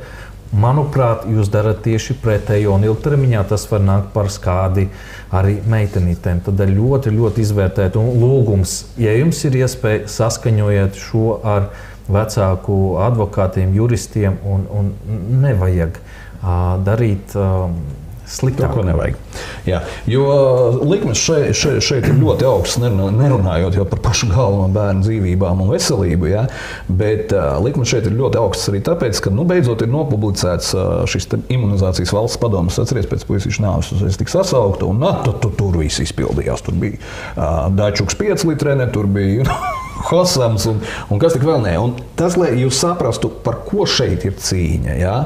Tad, tad te ir pieņemtie lēmumi. Pieņemtie lēmumi šī imunizācijas valsts padomē mēs varam parādīt. Ja? Apzināt tās ģimenes ārstu prakses, kurās ir zema vakcinācijas aptvere un veikt individuālas pārunas ar šīm praksēm, lai veicinātu vakcinācijas palielināšanos tajās aktualizēt jautājumu par zemajiem vakcinācijas rādītājiem Ukraiņas iedzīvotājiem. Nu, tas ir, jā, mēs jau par to runājām, labi, tas nebūtu tas trakākais vēl. Tagad vērsties pie drošības dienas speciālistiem ar lūgumu monitorēt plašsaziņas līdzekļos izplatīto dezinformāciju par vakcināciju, jo vakcinācija kā ārstniecības sastāvdaļa būtiska nacionālās drošības garantēšanai. Un te nu tagad tas ir. Viņi šito piešūna pie nacionālās drošības. Kā, tas ir ļoti nopietni. Tas ir ļoti nopietni. Tas vienkārši nozīmē to, ka nu, drīzumā mēs tā nerunāsim. Ja, jā, ja, ja mēs to pieļausim, vis, protams. Ja. un, un, un, un nekādu tiesību jums nebūs, un, un, un, un, un jūsu bērni vairs nepiedarēs jums, jo špricēs viņus bāriņtiesas ar tiesību sargiem un, un, un, un tā tālāk. Un tā joprojām pret jūsu gribu. Jā, pārējos punktus jūs arī varat izlasīt no mm. apstādinot video ierakstu nu, pēc tiešaitas beigām. Bet uh, esiet uzmanīgi, tādēļ es vēlreiz saku, domājam, ko mēs darām vai mēs ar uh, savu mm -hmm komentāru vai, vai um, emocijām, liekām emocijām. Šis ir, protams, ļoti smagi. Mums, mums pašiem tas nav vienkārši, bet mm. uh, domājam ilgtermiņā, lai nesanāk, ka mēs paši labu vēlot vai gribot izdarīsim sliktu. Tādēļ vēlreiz. Tiklīdz būs informācija, kuru drīkst un kura nāk nu, par labu, vajag, un vajag meitenītēm, mēs to darīsim. Mm -hmm, Bet mm -hmm. celt hypu tikai uz uh, nelaimes rēķina, mēs to nedarīsim. Tādēļ uh, lūgums arī pārējiem ieklausīties un uh, meitenītes, meitenītes un bērni. Un pēc tam, mhm. pēc tam tikai viss tā politika un viss pārējais. Jā. Tas var es smagi esmu. rezultātā, tas var smagi iesist pa visām ģimenēm Latvijā. Tādēļ domājiet, ko jūs darat. Mm -hmm. Un vēl viena lieta, ko es uh, vakar es uh, runāju māmu, un viņa lūdza pateikt, ka viņa Mm, ļoti būtu priecīgi sazināties ar tā zīdainīša vecākiem, kurš pirms tam mira no garā klepus.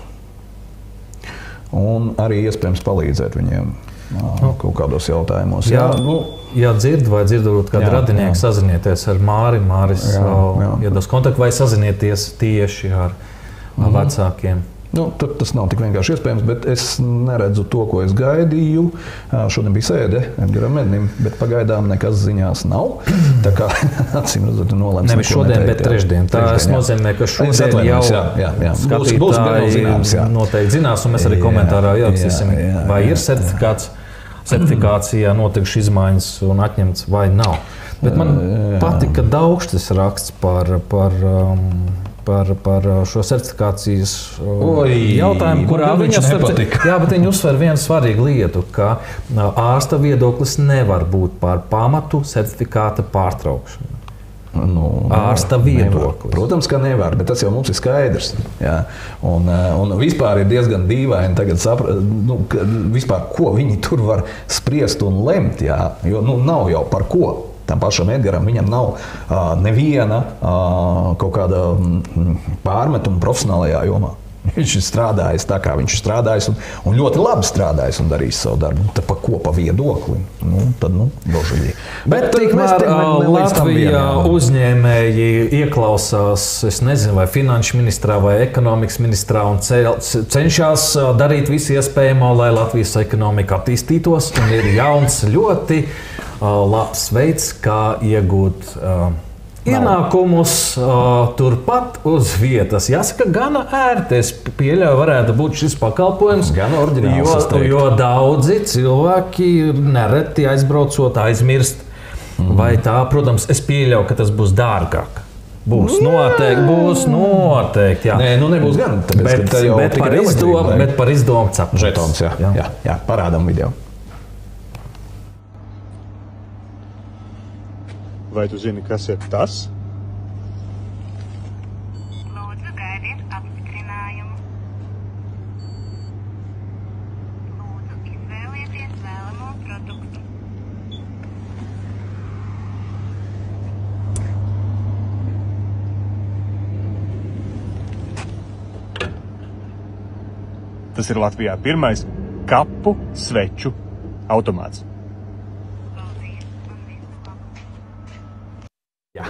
Es iedomājos, es iedomājos tagad uh, visu, nu, tagad uh, tuvojas laiks, uh, kad. Uh, Svecīšu vakars, nu, jā, jā, jā, tagad visu nāk. mirušo piemiņas dienu, Jā, jā. vēl laiks.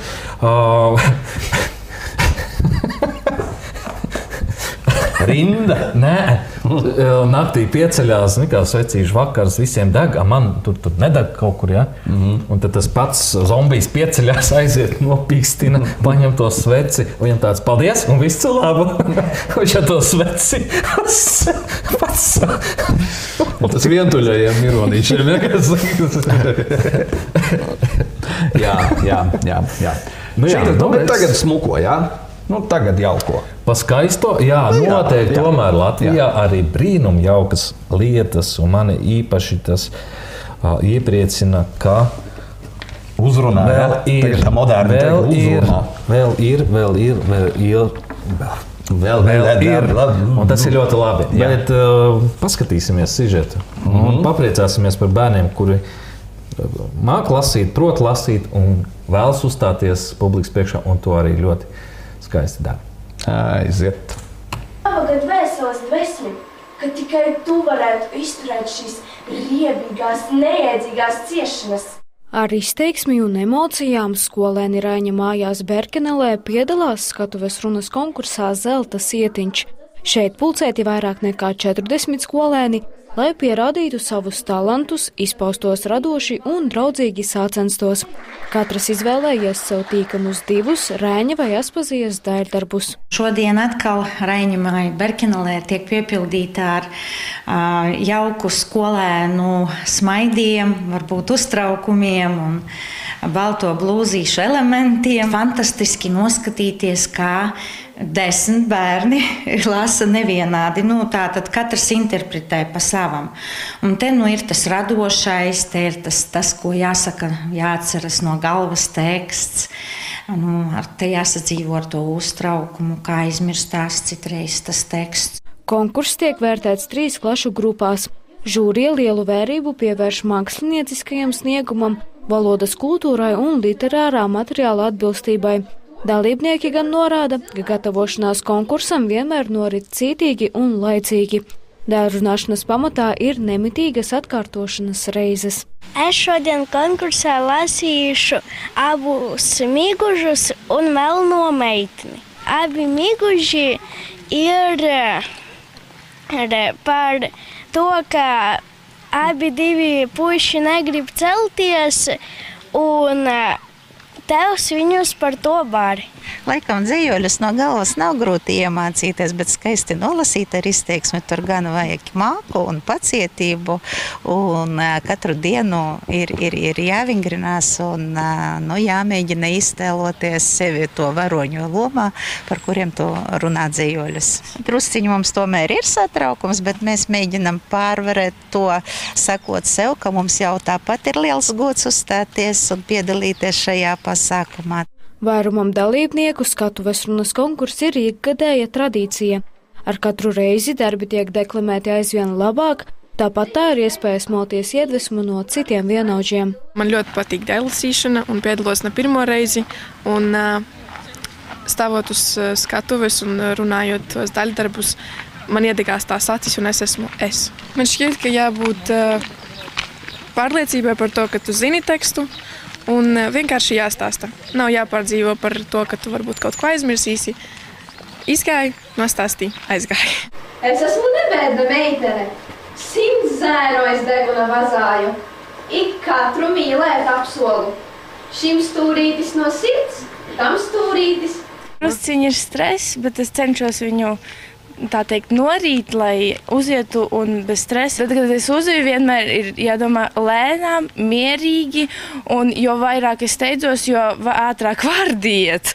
Un tad ne, es nepagūstu saprast, kurā vietā es esmu. Tāpēc lēnām, mierīgi, no sirsniņas, kas tā mācīja, un uz priekšu. Pasākuma organizatori uzskata, ka konkurss būs dzīves arī turpmāk, jo dalībnieku skaits ik gadu ir nemainīgi liels. Konkursā tiek apbalvoti tikai trīs skolēni. Pa vienam labākajam katrā klašu grupā. Manuprāt, vissvarīgākais šajā visā pasākumā ir tas, ka bērni vispār lasa, ka viņi ir iepazinušies kaut vai vienu dzējolīti, iemācījušies no galvas. Tas ir eh, drosmes apliecinājums, ka ar katru tādu uzstāšanās reizi, man liekas, bērni paliek drosmīgāki un viņi nebaidās no skatuves. Komunicēt ar citiem caur, caur, caur šo dzējas valodu. Īsnībā tā ir laba pieredze, jo uh, konkurence ir liela. Tā ir ne tikai augšdaugavas novads, bet arī dzirdēt citus bērnus, kā viņi runā, un kaut ko iemācīties. Konkurss Zelta sietiņš rīkots jau kopš 2001. gada. Tā mērķis ir popularizēt Rāņu un Aspazijas literāro un kultūrvēsturisko mantojumu. Tāpat arī kopt un attīstīt bērnu un jauniešu skatuves runas prasmes, radošo un emocionālo izpausmi. Paldies par video, un mēs atgriežamies redzējuma sākumā. Faktiski redz, ka ir Latvijā tomēr vēl bērni spējīgi. Un, uh, nav viss, kaķi un suņi. Nav jā. kaķi un suņi, kas bija pa vidu. un tā tālāk. Jā, liels paldies skolotājiem, liels paldies tiem, kas šo konkursu uztur un um, tiešām deklamē un skaisti runāt un pasniegt. Čakšs tur nebija. Nu kā, nu, ka, nu beidz. Nu, nu, es tikai tā, nu. Es tikai tā. Tas, tas nav viņas līmeņa pasākums. Nu, Viņa nevalko līdz tādam. Teic, nu, lūk, paldies mazajiem censoņiem arī. Un, nu, ir, ir, ir mums nākotnē. Ir. Vienkārši jāturpina strādāt, darboties un domāt ilgtermiņā un nostād, nospraust tos pareizos mērķus, kas ir jāsasniedz, apzināties, kas ir tie, kas to varēs sasniegt, un nu, tad uz viņiem arī uh, tiekties. tiekties. Jā. Tā kā nu, šodien izskrējām cauri visam. Jā. ne visam, bet lielai daļai. Un lielākajai daļai. Un um, tad tiekamies vai nu kaut kādās tiešraidēs, vai, vai, vai, vai nākamnedēļ, nākamā piekdiena. Vai tavās sarunās, es nezinu. Nu, redzēs, uh, saspringti šobrīd. Sāpīgi piedzēni tagad tev sarunām klāt. Vēlreiz liels, liels paldies visiem, kas atbalsta Latvijas tautas kanāla darbu, raidījumu veidošanu. Jūsu atbalsts ir ļoti, ļoti nepieciešams. Un, nu, nu, pat tuvojās trešo sezonas atklāšana. Jā, šobrīd nākas mazliet ziedot dzīvās sarunas, bet tas ir tikai un vienīgi laika trūkuma dēļ. Um, nesatraucieties, nekur viņas nav pazudušas. Um, viss mm -hmm. ir mhm. kārtībā. Um, nu, nu, jā, nu. Galva augšā, tikai uz priekšu, mālēš, ka jūs esat, uh, prieks, ka jūs esat. Un, uh, un, nu, ko es varu pateikt? Tā, nu, ko es varu pateikt? Pasaka, tā. Nu, jāiet svecis pie skapja. Nākamreiz atnāksim. Ah, un tuvojās simtais lācis, un tur, tur, tur mēs plānojam vienu nelielu pārsteigumu, bet par to jau mazliet vēlāk. Jā, mazliet vēlāk. Jā. Uz redzēšanos! À, tā.